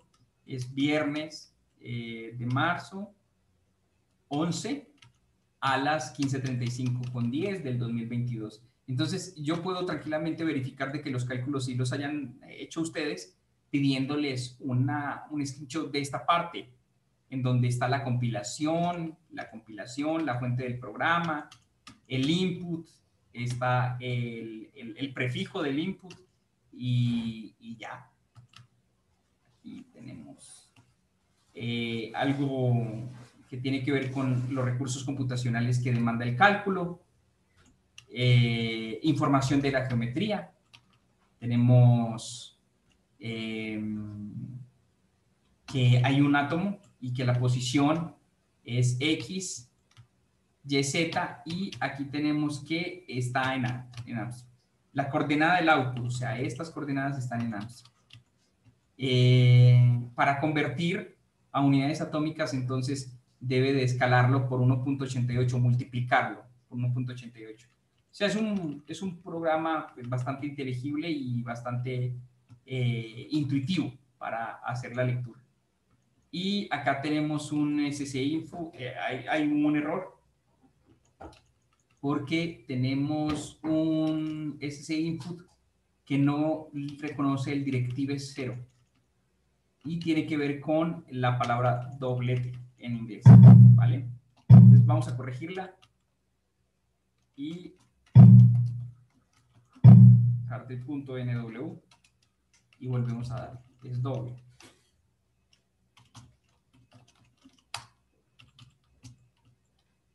Le damos de nuevo otra vez con las direccionales hacia arriba. Voy buscando los comandos que ya he utilizado previamente. Ahí está computando. Fíjense en ustedes lo que yo les comentaba, el start el start lo que hace es generar unos archivos temporales que posteriormente se pueden utilizar. Listo. Y acá dice don. Don eh, indica que el cálculo eh, convergió o se corrió correctamente. Listo. Preguntas. Hasta ahora vamos a ver la salida. Heartbeat.out. Eh, y vamos acá en la lectura. aquí tenemos los shells.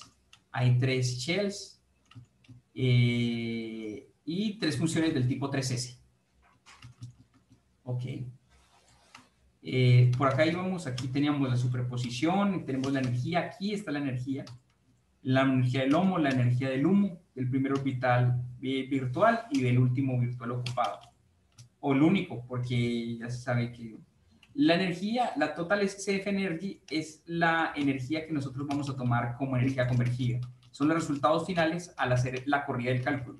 Final eh, UHF es un restricted hard Los resultados son la energía total. Esta es, repito, la energía que se va a tomar como energía, eh, como energía normalita, ¿no? Como energía del sistema. La total SCF Energy. Ya lo habíamos comentado. Y aquí tenemos un SZ. SZ es de 0.5, que es el valor doblete que nosotros le pusimos. Ahora, ¿por qué es doblete? Singulete, ¿qué es? Doblete, ¿qué es? ¿Por qué es doblete? Y listo, chicos. Eso es todo. Aquí, eh, importante mencionar, aquí están, hay unos vectores, ya volveremos en las prácticas que siguen eh, con la especificación, con la explicación de qué significan cada uno de esos vectores. No son nada más y nada menos que los orbitales moleculares o atómicos según el caso. Y hasta el final viene el total time CPU. Cuando nosotros nos encontramos esta línea, estamos seguros de que el cálculo convirtió correctamente. Total time CPU en la última parte del archivo significa de que el cálculo corrió correctamente. Aquí están los eh, nombres de los, eh, de los autores del de, eh, programa y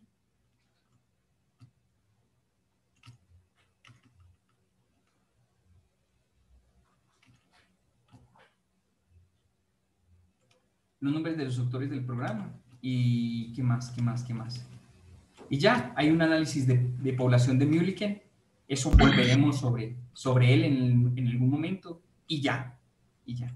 Cada una de las líneas tiene su explicación, ¿verdad? Y listo. Lo importante era to tomar este eh, Total Science CPU. Esta energía es de menos 0.4998 y lo que sea. Si nosotros multiplicamos este número por el, 13, el, el 27.211, que equivale pues a, un, un nos va a dar alrededor de 13.6. Vamos a hacer este número. Control C. Voy a abrir una calculadora, la calculadora que tiene el Python. Lo único que voy a hacer es multiplicar ese número por el factor de conversión de Hartree. Este número está dado en Hartree. Este está dado en Hartree. En alguna parte del archivo está especificado de que las energías, todas las energías están en Hartree, en unidades atómicas. Entonces, al hacer eh, la conversión de Hartree a eh, átomo, al de Hartree a electronvoltios, tengo que multiplicar por 27.211. Y esto me tiene que dar alrededor de 13.6. Exactamente el mismo número que analíticamente ustedes van a tener. Al hacer esa conversión de, de, las unidades que ya les mostré anteriormente cuál era la, la, aproximación analítica del átomo de oxígeno. Listo. Esa era la parte del, del, ese era el tercer punto exactamente que habían que, que debían de tener, que debían de hacer. Chicos, preguntas. Preguntas al respecto. Que no haya quedado claro, que haya que volver a explicar. Sí, me, en el documento venía ese número de 13, pero en positivo. Este... Ah, sí, sí, sí. Bueno, perdón. Eh, no se especificó, quizás se me fue. Eh, para los sistemas atómicos todas las energías son negativas. Okay. Entonces, voy a, gracias por, por, la corrección, voy a hacer la corrección. Eh, muchas veces se olvida uno de que son energías, eh, de, energías de átomos ligados. Átomos ligados es que no hay defragmentación, que el electrón no se va a ir por allá.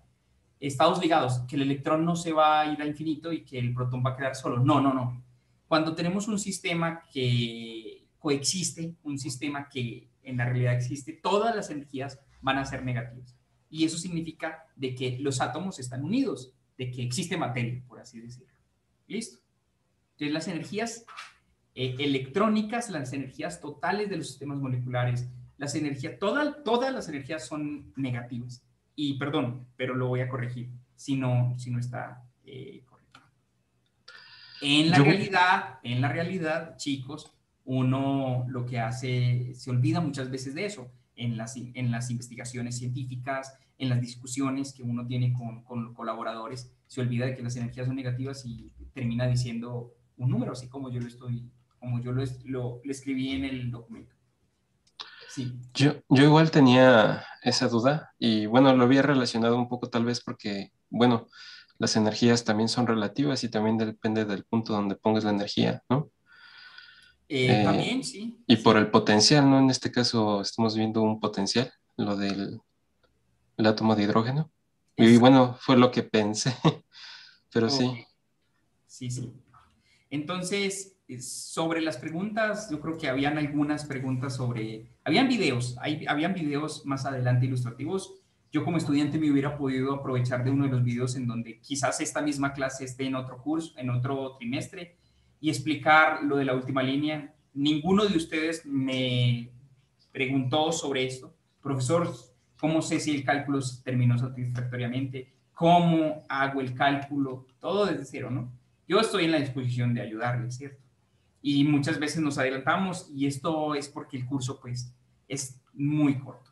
Chicos, vamos a ganarle al tiempo. Eh, lo que hay que hacer, ya ustedes saben hacer cálculos puntuales Hartree-Fock ya saben poner eh, diferentes estados de spin. Yo les dejo como tarea, revisaré, empezaré la clase próxima con esa eh, tarea, es eh, los estados de spin.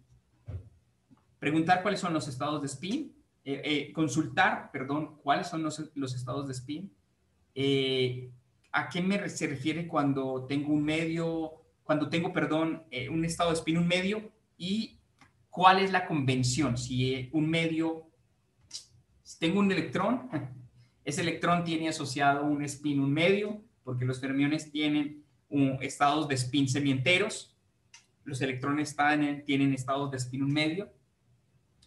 Y al hacer la, la suma de los estados de spin, si tengo electrones desapareados o apareados en el último nivel energético, en la última capa de energía, o shell de eh, eh, de valencia em, atómico o molecular. Entonces, ¿a qué corresponden esos, esos, esos números? ¿no? Si yo tengo un medio, uno, eh, tres medios, si yo tengo dos, esos estados de spin a que corresponden a un, a un quinteto, a un, a un triplete, a un cuadruplete, ¿a qué corresponde? Entonces, consultar los estados de spin electrónicos.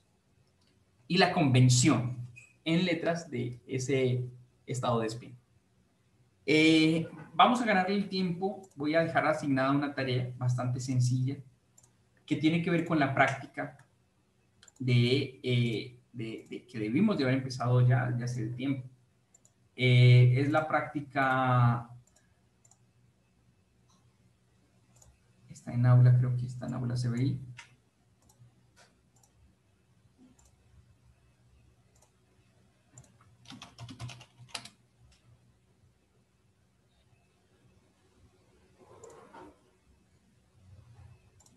Déjenme ingresar a aula CBI.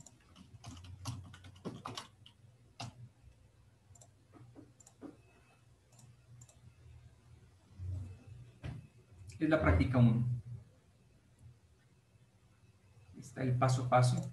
Exploración de energía, de exploración de energía potencial.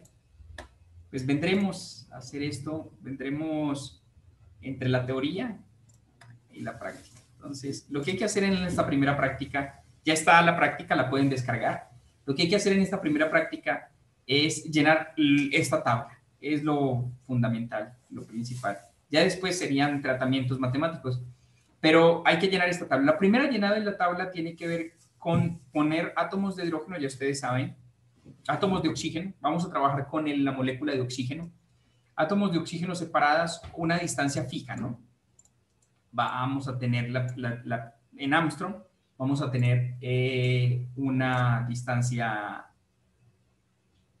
fija, 1.10, eh, después 1.11, 1.2, distancia eh, nuclear o distancia entre, entre átomos. Listo.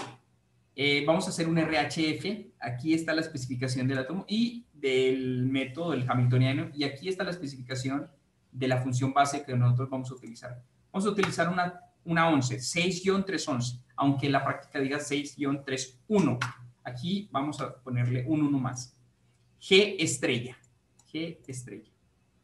Eh, esa es la especificación de la función base. Y vamos a, para diferentes eh, distancias, vamos a hacer el cálculo de la total SCF energy, de calcular la energía y vamos a llenar esta tabla. Listo. Eh, luego con el lanzador, vamos a ver si continuamos la próxima clase con, con eso, con el lanzador o, si ustedes lo, quieren hacer después, al menos preparar los inputs.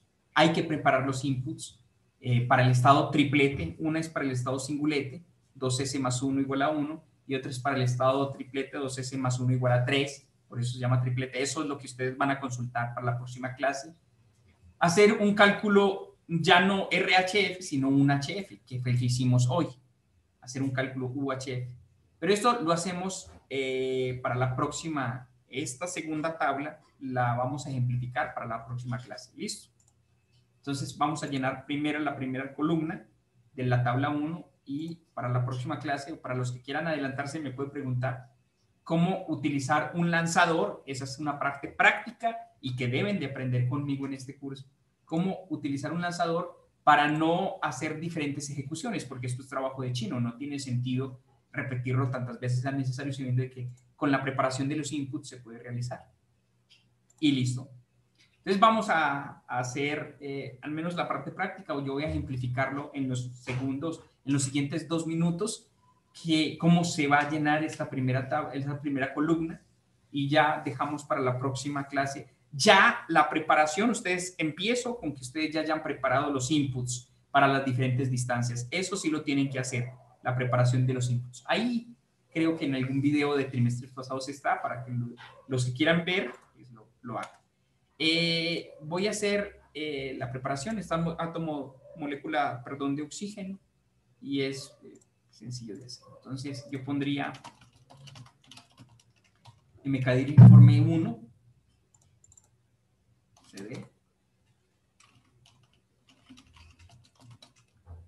y voy a utilizar, voy a hacer estados del singulete, CD singulete. Incluso ya está acá. Entonces, con eh,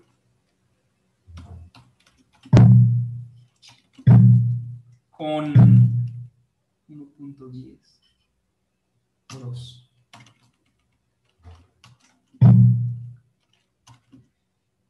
puedo ponerlo así, el título es independiente como usted lo quiera preparar los inputs. Yo puse oxígeno molecular o dos, tengo dos oxígenos, em, dos átomos de oxígeno, singulete, estado singulete y la distancia, todo seguido, singulete y la distancia es 1.10. Es la primera distancia que tiene la tabla para llenar.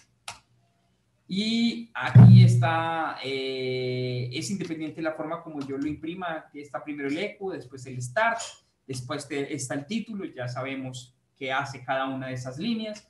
Y lo más importante está la geometría. En la geometría está la especificación de los dos átomos. En el documento, en el documento PDF, en el manual que está en proceso, en continuo, proceso o construcción, eh, está la explicación de que para poder, yo, para poder yo definir o imponer la distancia entre dos átomos, puedo ponerlos en el mismo plano. Y la tercera coordenada, o sea, la coordenada en Z, los dos átomos están en, los dos átomos están en, la, en el plano XY, pero su distancia va a estar determinada por la distancia, por la diferencia entre la coordenada Z. Entonces, a uno lo estoy dejando en el origen, al primer átomo, al primer átomo de oxígeno lo dejo en el origen, entonces tiene coordenada 0, 0, 0, y al segundo átomo lo dejo en XY en 0, pero en Z lo voy a separar del primer átomo 1.10 Armstrong. ¿Por qué está en Armstrong? Porque la geometría está especificada acá, que está en Armstrong. Y listo. Entonces, esta sería la configuración atómica para la distancia molecular de 1.10. Asimismo, ustedes van a hacer cada uno de los inputs para las distancias de 1.11, 1.12, 1.13, 1.14 y hacer la corrida respectiva para llenar la tabla con la total SSF Energy en Hartrees. Eh, recuerden, lo único importante, lo recuerdo que, que lo único diferente que hay que hacer aquí es que vamos a hacer un cálculo RH, RHF, porque vamos a, utilizar, vamos a tratar el singulete. Y listo, lo que vamos a hacer es un cálculo de energía a geometría fija y ya. Eso es todo lo que vamos a hacer. La tarea para el próximo lunes. Llenaremos la tabla, la segunda columna de la tabla con un script que se requiere tener ya los inputs construidos. Entonces, bueno, hay bastante, hay un poco de trabajo para el lunes eh, y listo. Voy a terminar con eh, preguntas. Si alguien tiene alguna pregunta, vamos depurando preguntas y voy a llamar a lista en este momento.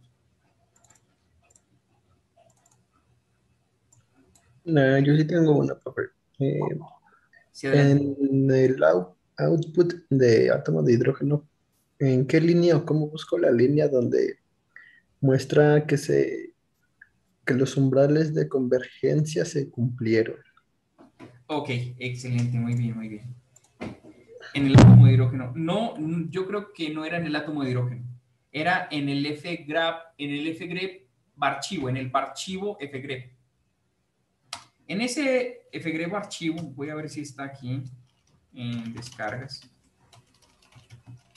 F, no, es barchivo, barchivo. CD, documentos, perdón.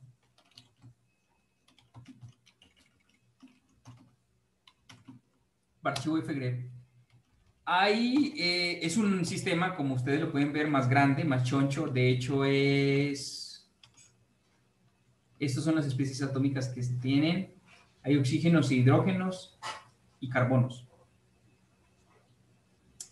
Profe, no está compartiendo. Ay, perdón. Entonces, en el átomo de hidrógeno, en el archivo del átomo de hidrógeno no vamos a encontrar esos archivos, porque no, no, no enviamos una optimización geométrica. Sin embargo, cuando uno envía una optimización geométrica, hay, eh, con el, keyword estoy utilizando el buscador, el modo de inserción y el modo de eh, escritura. El modo de comandos. En este caso, el modo de comandos.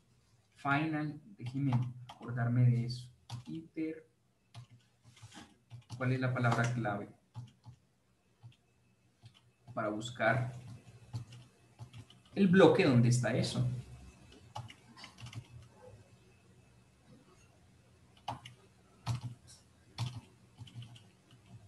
Ya lo pasé, pero no lo veo. Acá está el bloque. Step. Entonces yo busco step. Este step y hay una separación y energía y toda la cosa.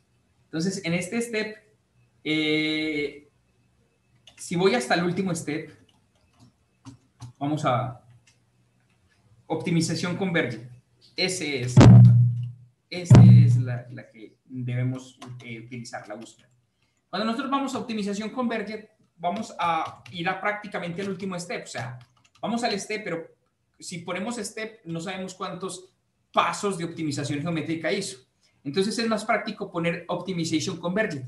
Si usted pone, está en el inicio, y usted pone Optimization Converge.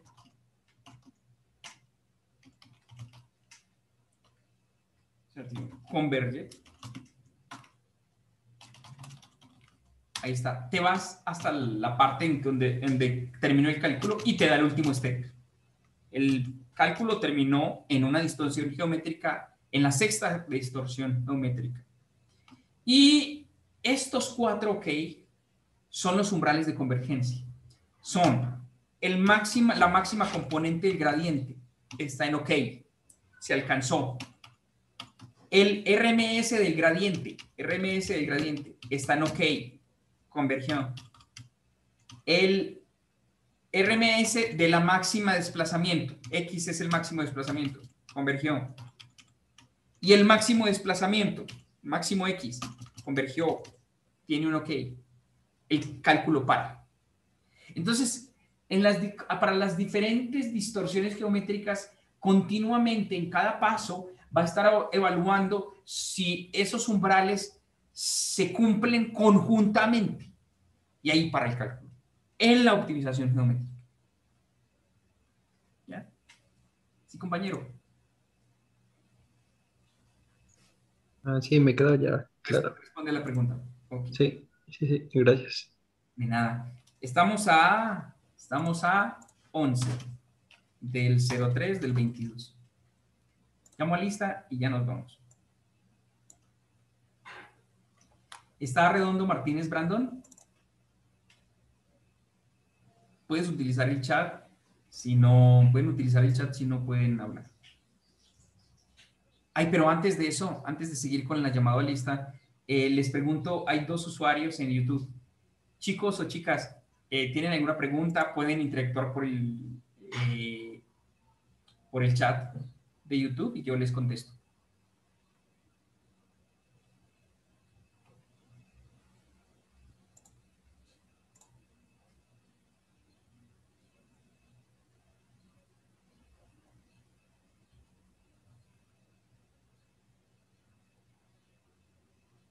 Ok, si Brandon está y no, no tienen preguntas, Brandon.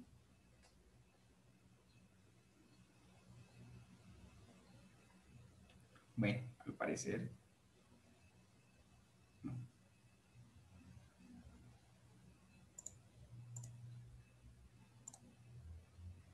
Luego rápido. Eh, Brandon está. Estaba en el chat de YouTube. Si tienen preguntas, por favor, escríbanlas en el chat de YouTube.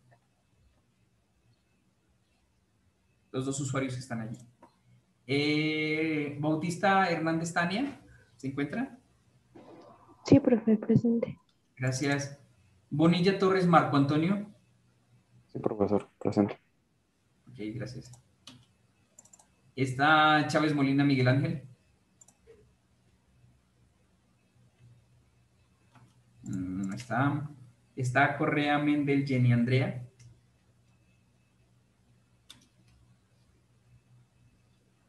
Mm, No se encuentra. Está mm, Dávila Cerecedo Jennifer Polet. ¿No está? Está Gómez Dávila Ángel Omar. Presente, profesor. Gracias. Está Guerra Flores Rubén. Sí. Perfecto. Gracias. Está Guzmán Vilchis Ulises.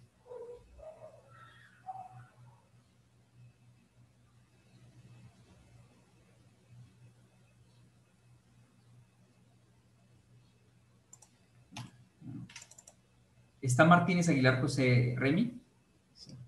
Sí, aquí estoy. Martínez Maldonado Ángel de Jesús.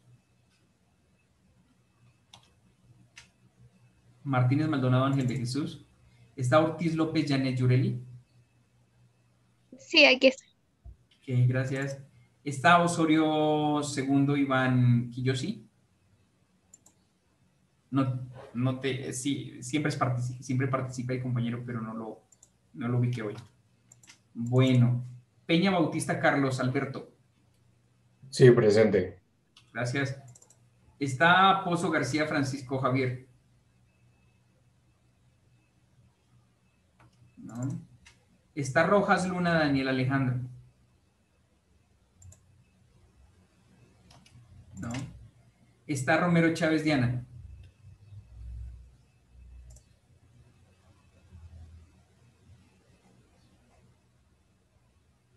Romero. No. Está Romero Lozano Pamela. Presente, profesor. Gracias. Está Salazar Polito Gladys Ibet. Y aquí estoy, profe. Gracias.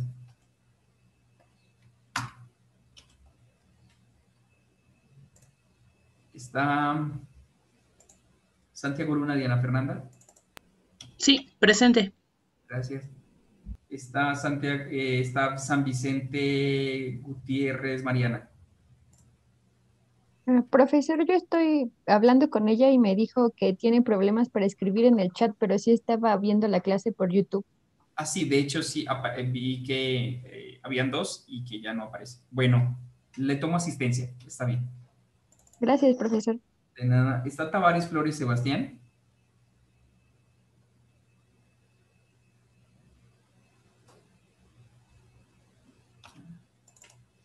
Está Vázquez Romero Eliulises. Sí, presente. Muy bien. Y finalmente Vázquez Roque Karen Berenice. Presente. Ok, gracias. Soar se encuentra por acá. Es una alumna que tengo como oyente. Si de pronto estás por ahí, puedes levantar la voz o escribir en el chat. Chicos, bueno, eh, vamos a dejar por acá hoy, es el horario de clase. Eh, cualquier cosa, pues estoy siempre disponible para responder preguntas. No sé si esté programada la clase del próximo lunes. Por ahí me preguntaban si el lunes era festivo o si era día de trabajo. No sé.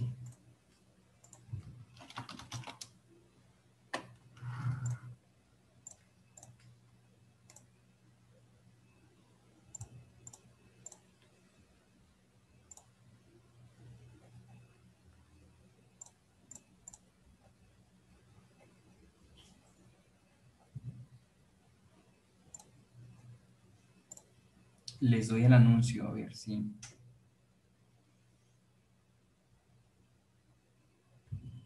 No, este sí es normal. Es clase normal, sí.